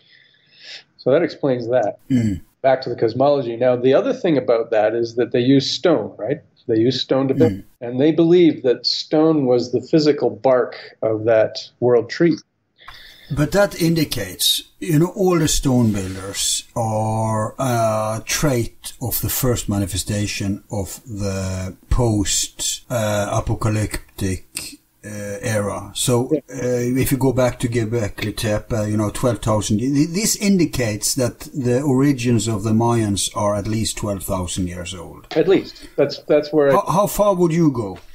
Well, the Mayans, if you're going to say that they go back that far, they must go back even further because they would have been a continuation of a previous civilization exactly. that was much older. So, you know, you could yeah. 20,000 and 30,000. And in fact, mm. that goes back to what we discussed earlier that the modern anatomical human is what? What was your timeline? I said 146. Not mine, but the latest admission from uh, what they admit because they want to keep us as young as possible, right? But now they're down to 250,000. Right uh, in terms of our biology not having changed, with one exception. There's a new blood type that manifested around 2,000 years ago. Hmm. Interesting. Where was? Uh, but but other than that, uh, we are biological identical. Yeah. So that that gets back to the, the whole thing. I think the mind. Yeah, that's A, A B. If you asked which one. Did you ask which one? Yeah, where where was that? Oh, I think uh, I don't know. Maybe the Middle East. I don't know if they know where it emerged, but uh, they know which one it is. It's the AB. Okay, so there you go. So I think that you know it's pretty clear because humans are a continuous species. mm. Like we just disappear and then come back all of a sudden. Yeah, we're we're a continuation of all these civilizations. That's how I look at it. That's what I call indigenous mm. mind. We are a continuation. Mm of uh, genetic material that uh, contains all this information.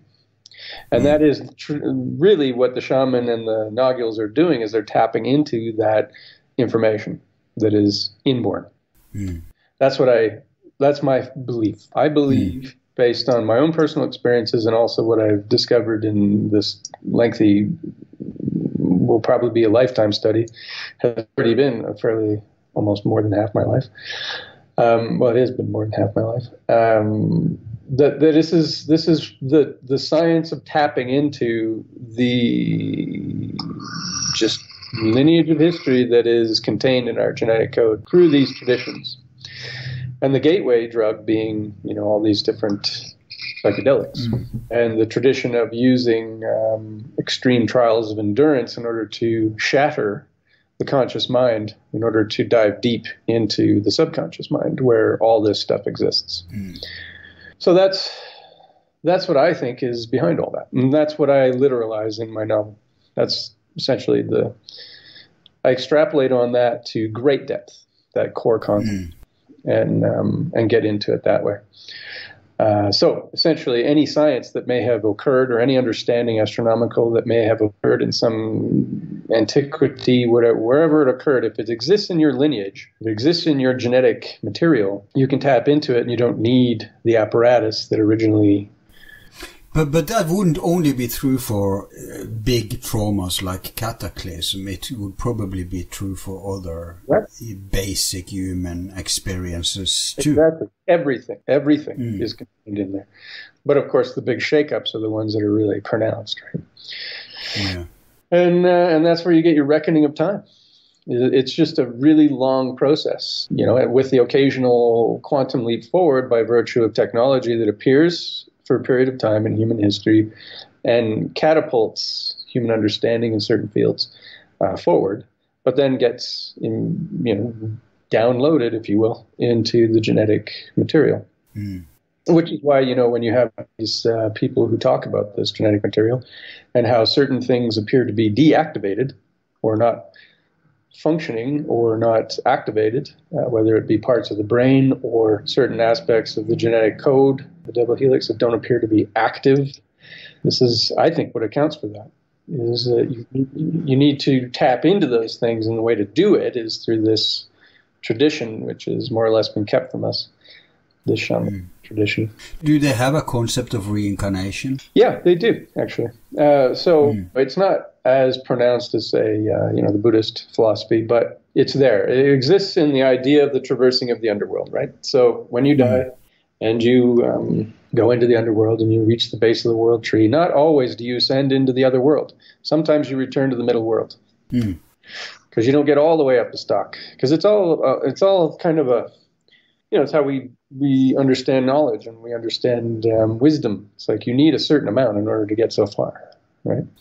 But if you regard how all the ancient traditions were keeping such a weight on the ancestors Mhm. revering and worshipping, then it kind of indicates a possibility for the notion of reincarnating within your own bloodline. Yeah, there's that. There's also the possibility that you just never die, right? Because death is not death the way we understand it today. It's like it's a, you know, when you die, supposedly physically, you don't really die. You just go into the underworld. Well, that's a whole other life.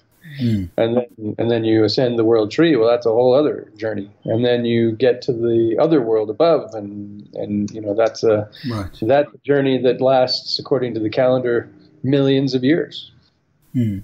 you know so there's there's really no finite concept of life within the mayan tradition that that uh, that exists it's really infinite and that Hmm. infinity is represented very well in their calendrical system because the numbers they use are so vast when you get up above the uh, Baktun periods into the Pictun Yeah. and all these others. I mean, we're talking millions of years, Hmm. and that's why there, that's where there's a real similarity between Vedic calendars and these these yugas and all that stuff, right? Even billions of years. Yeah. They, they even they even describe the age of the universe. Mm-hmm. Exactly, and that itself is a cycle that that uh, that is a cyclical thing. It's not. Which, which, by the way, has been verified. You know, there's some scientists who, who are open to these things, and uh, like uh, Fritjof Capra, he wrote the Tao of Physics. So when you look into the counting system of the Indians, the Mhm. Hindu Indians, not the native, then uh, you will see that there are so many uh, aspects of their lore which fits modern scientific uh, discovery. Mhm. Obviously, in cases where it's clear cut, there's so much based on interpretation, right? That you can get, like the whole 2012 thing, Mhm. basically a bad interpretation of a real science, right? Absolutely. Gone wrong. in this case, gone wrong. Well, it's a reflection of our modern consciousness. That's how I look at it. It's like we're just we're at that place as a collective species. We we look in these terms. And, and the updated date was 2085, did you say? Uh, yes, it's 2087. 87. So you and me 25 years. Add 75 years to 2012, basically. Yeah, so so you and me may not be around to see that. Based on what's going on right now, I don't know if I want to be around for the next 10 years. Jesus. well, there's always going to be a space on the globe which is better. It depends where you are, right? Exactly. Um, Exactly. never has the entire globe been dark at the same time. Uh, Well, I wouldn't say never. It was probably so after the cataclysm. Yeah. That must be now a horrible time to live. Well, yeah. I mean, building everything up from the ground. They did a good job, though. I mean, we, if it was me and you, we would have straw huts, right? But those guys built stone monuments. so refined. Yeah, well, that's why I like Hancock's concept of uh, species and amnesia, right? And that fits really well with the concept of tapping into this um, genetic material, the encoded history of our ancestors that is contained within all of us, Right. and and uh, tapping into it through this tradition, which has been lost deliberately, I think. Yeah, so so you could say just to help people understand that many of the techniques that are used in, um, for example, in shamanism and, and ancient esoteric and spiritual traditions, has to do with decoding much of the stored knowledge, if not memories, uh, the essence you know, they, they, they said you, you can't take anything with you into death except love and wisdom. Mm-hmm. So if you can unlock some of that stuff through these techniques, you're doing it organically, you're doing it through the consciousness, through the psyche. Yeah. Then you have scientists today who want to unlock the same kind of thing and do unlock it, right? But through matter. They unlock coded information through matter. But it, it's kind of the spiritual aspect of that we're talking about. Yeah, they're just looking at it from a 3D material perspective, but what they're looking at is something that can only be accessed through this transformational consciousness. Yeah. Um, you know, they have ideas that they can, you know, play around with it, and maybe they're right. Maybe they actually have that that uh, capability at this point. If they do, we don't know about it. Um, they may be using it against us. I don't know. I mean, that gets into the whole other thing. So, Hmm. so, the, so the calendar units, you know, they go from the kin, which is a single day, all the way to the, and I don't know if I actually spell, uh, say this right, but the Alatun, which is um, 23 billion, 40 million days, so roughly 63 million years, and then it all starts again. Mm. So, you know, the, the calendar system and this whole eschatological fascination with the end date scenario is uh, is just um, it's just a fear of death thing, right? Yeah.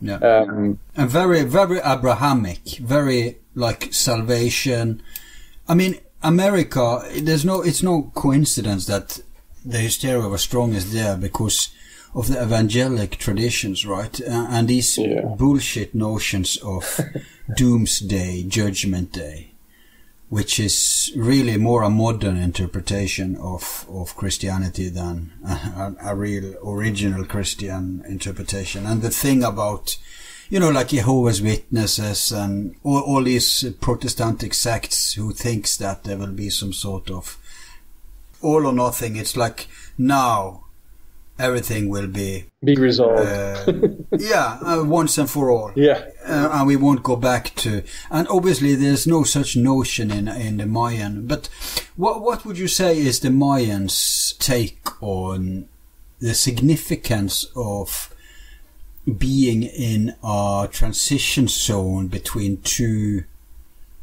Not just two time periods, but even the biggest one, because the, we, that's what we're talking about, right? A Baktun is the biggest. No, no. A Baktun is 20 Katun, which is about 144,000 days. Um, and there's 13 Baktuns in an age, uh, which is essentially the 5,200 year cycle. Um, So, so, uh, uh, and its entire 2000 year cycle that's going to end in 2087, right? Not, not just. it's a 13 Baktun period that's ending in 2087. the last Baktun. Yeah, the 13th Baktun, that's right. The 13th. When did that begin? Of the, of the current age, right? And there's five ages in the long count.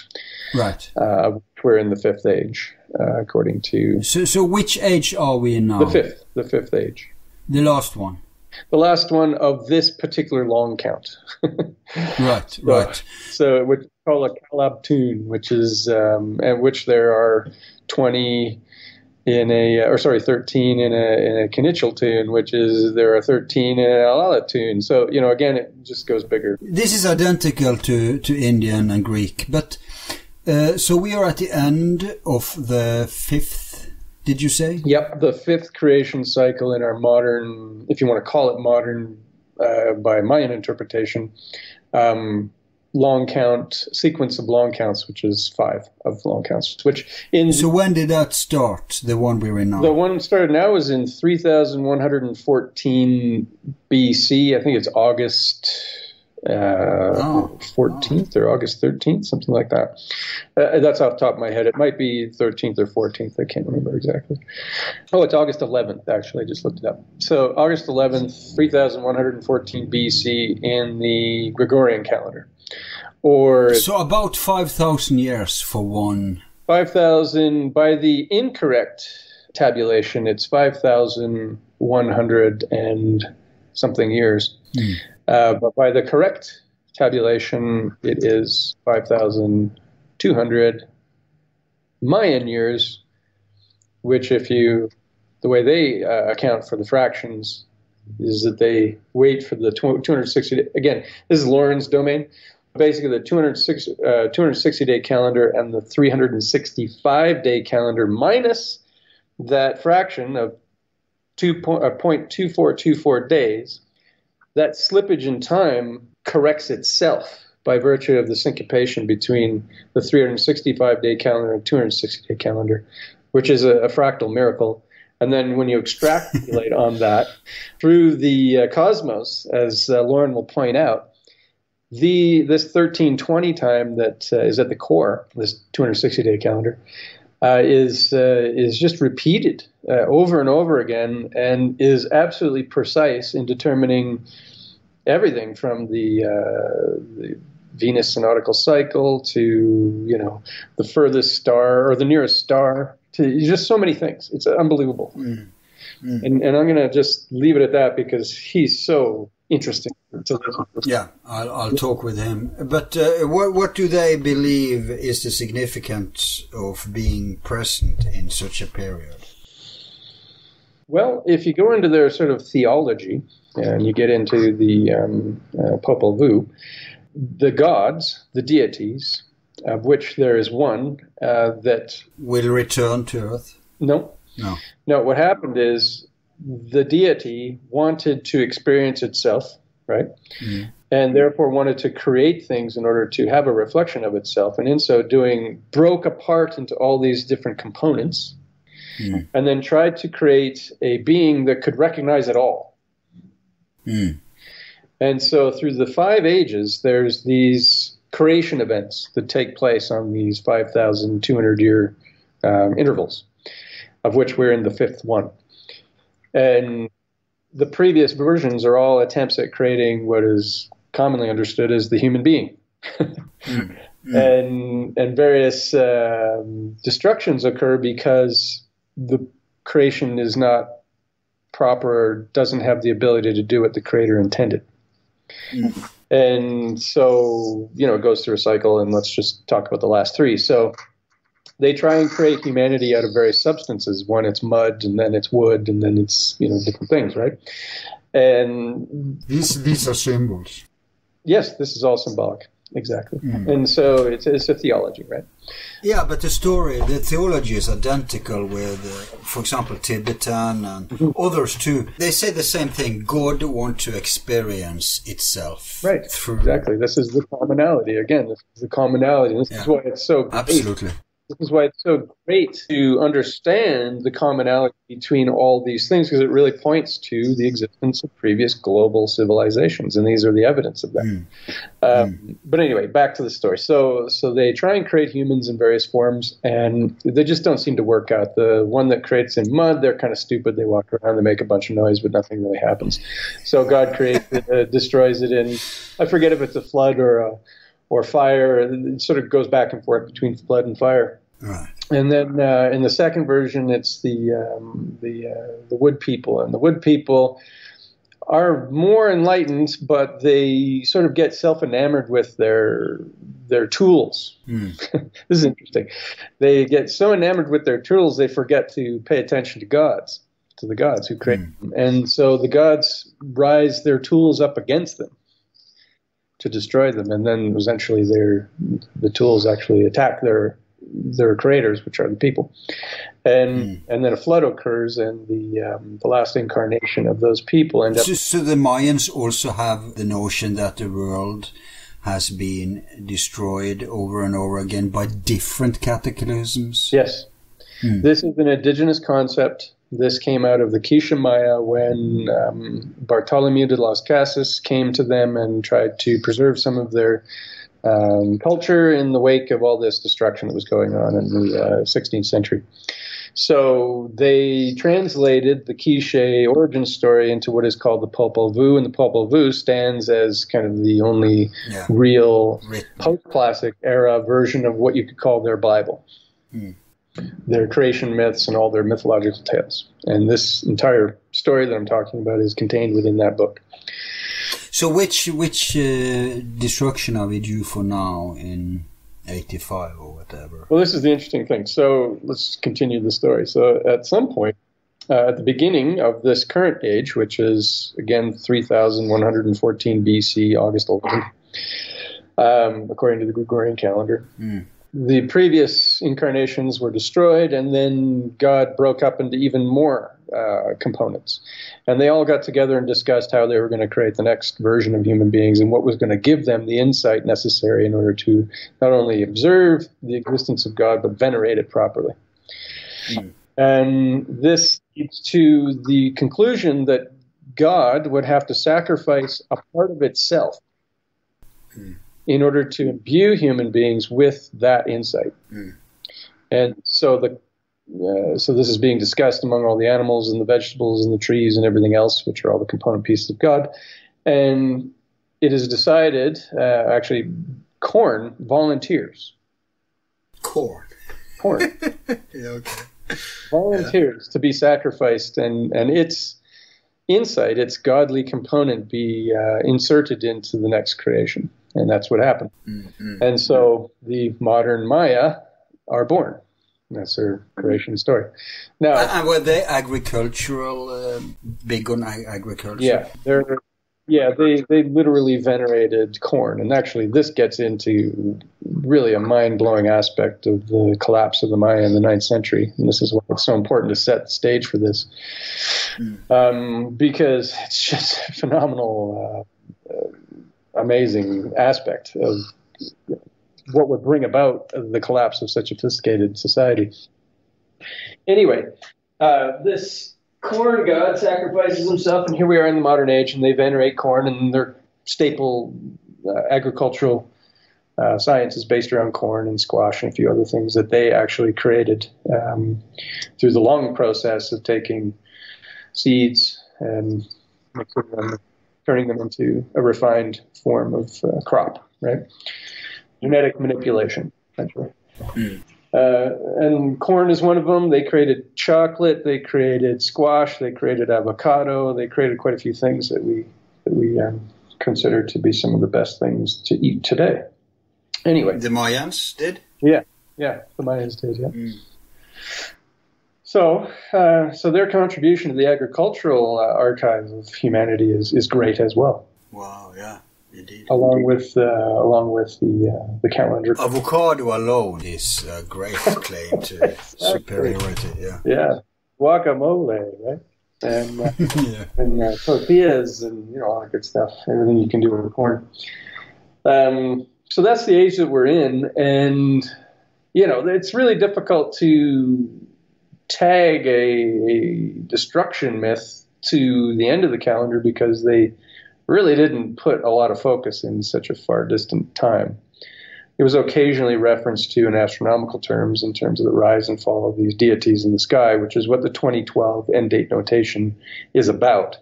It's uh, it's an obscure, In other words, 2087. and now it's 2087 when you consider and uh, tabulate the days out of time. Hmm. And it would have been that date, 2087, the Gregorian calendar, but they didn't include those days because they considered them days out of time. Hmm. And it was a mathematical formula that caused them to do that. It was a way of reconciling all these slippages in time through all these fractions. Hmm. Again, this is just the genius of Lauren. Um, so I'll let you get into him. I'm really setting up the stage for him.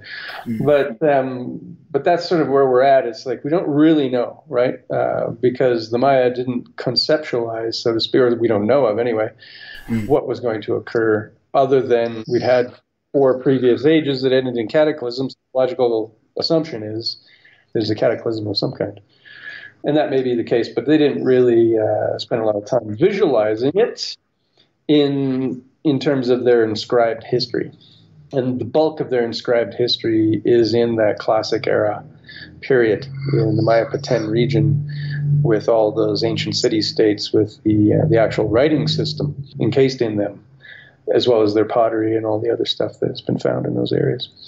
Uh, and they didn't really, to my knowledge anyway, and I, I'm certainly no expert in every single vase or every single inscription. Those are what the epigraphers do. But there are books, really good books, Okay. for the translation of all that into a literal chronological history done by, say, Martin um Martin and Grube in the Chronicles of the Maya Kings and Queens, and then what Linda Schele and David Freidel did in terms of the um, the book, The Forest of Kings.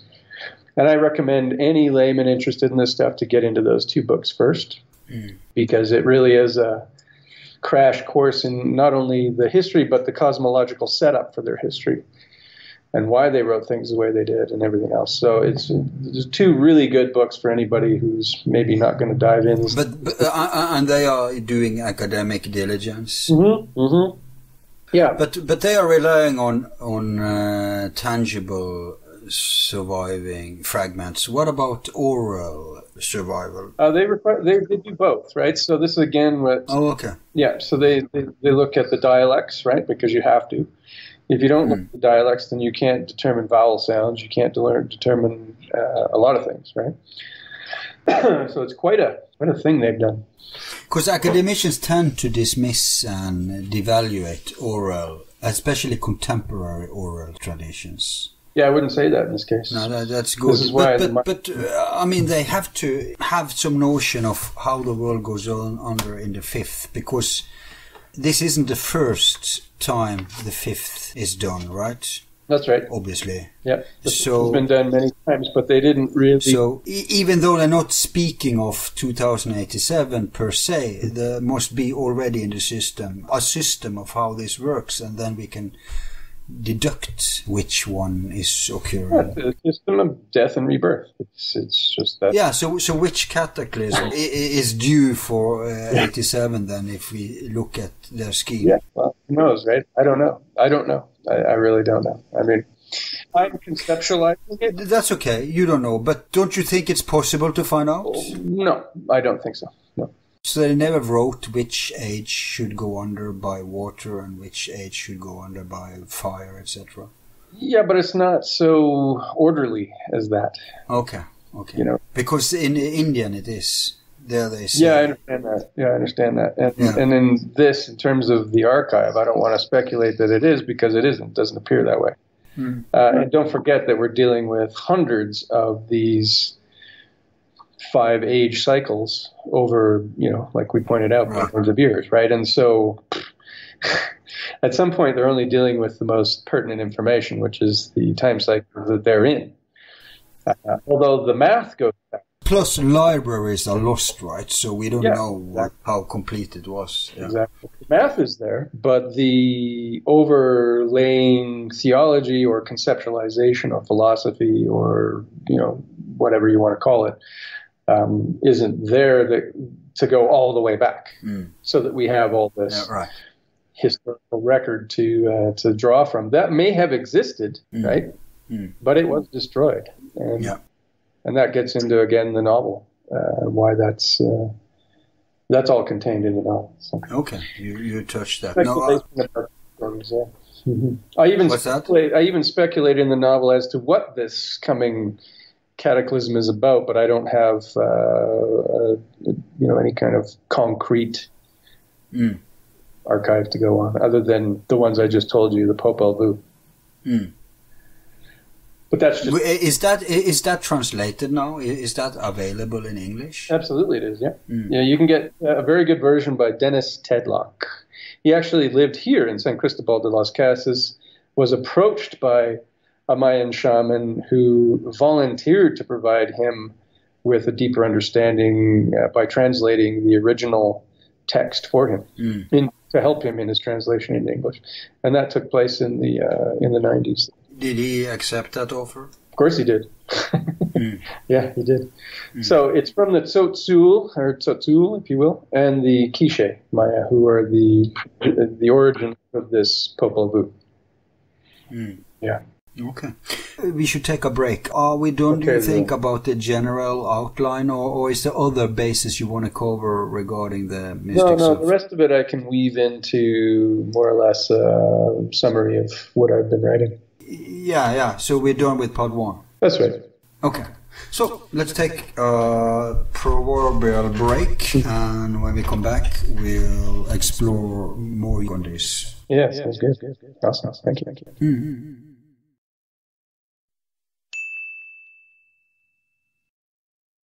All of our files are free and will remain free. If you like the show, you can show support by donating $1 to help with expenses. Just use the PayPal link on our website, YouTube channel, or Facebook page. Thanks.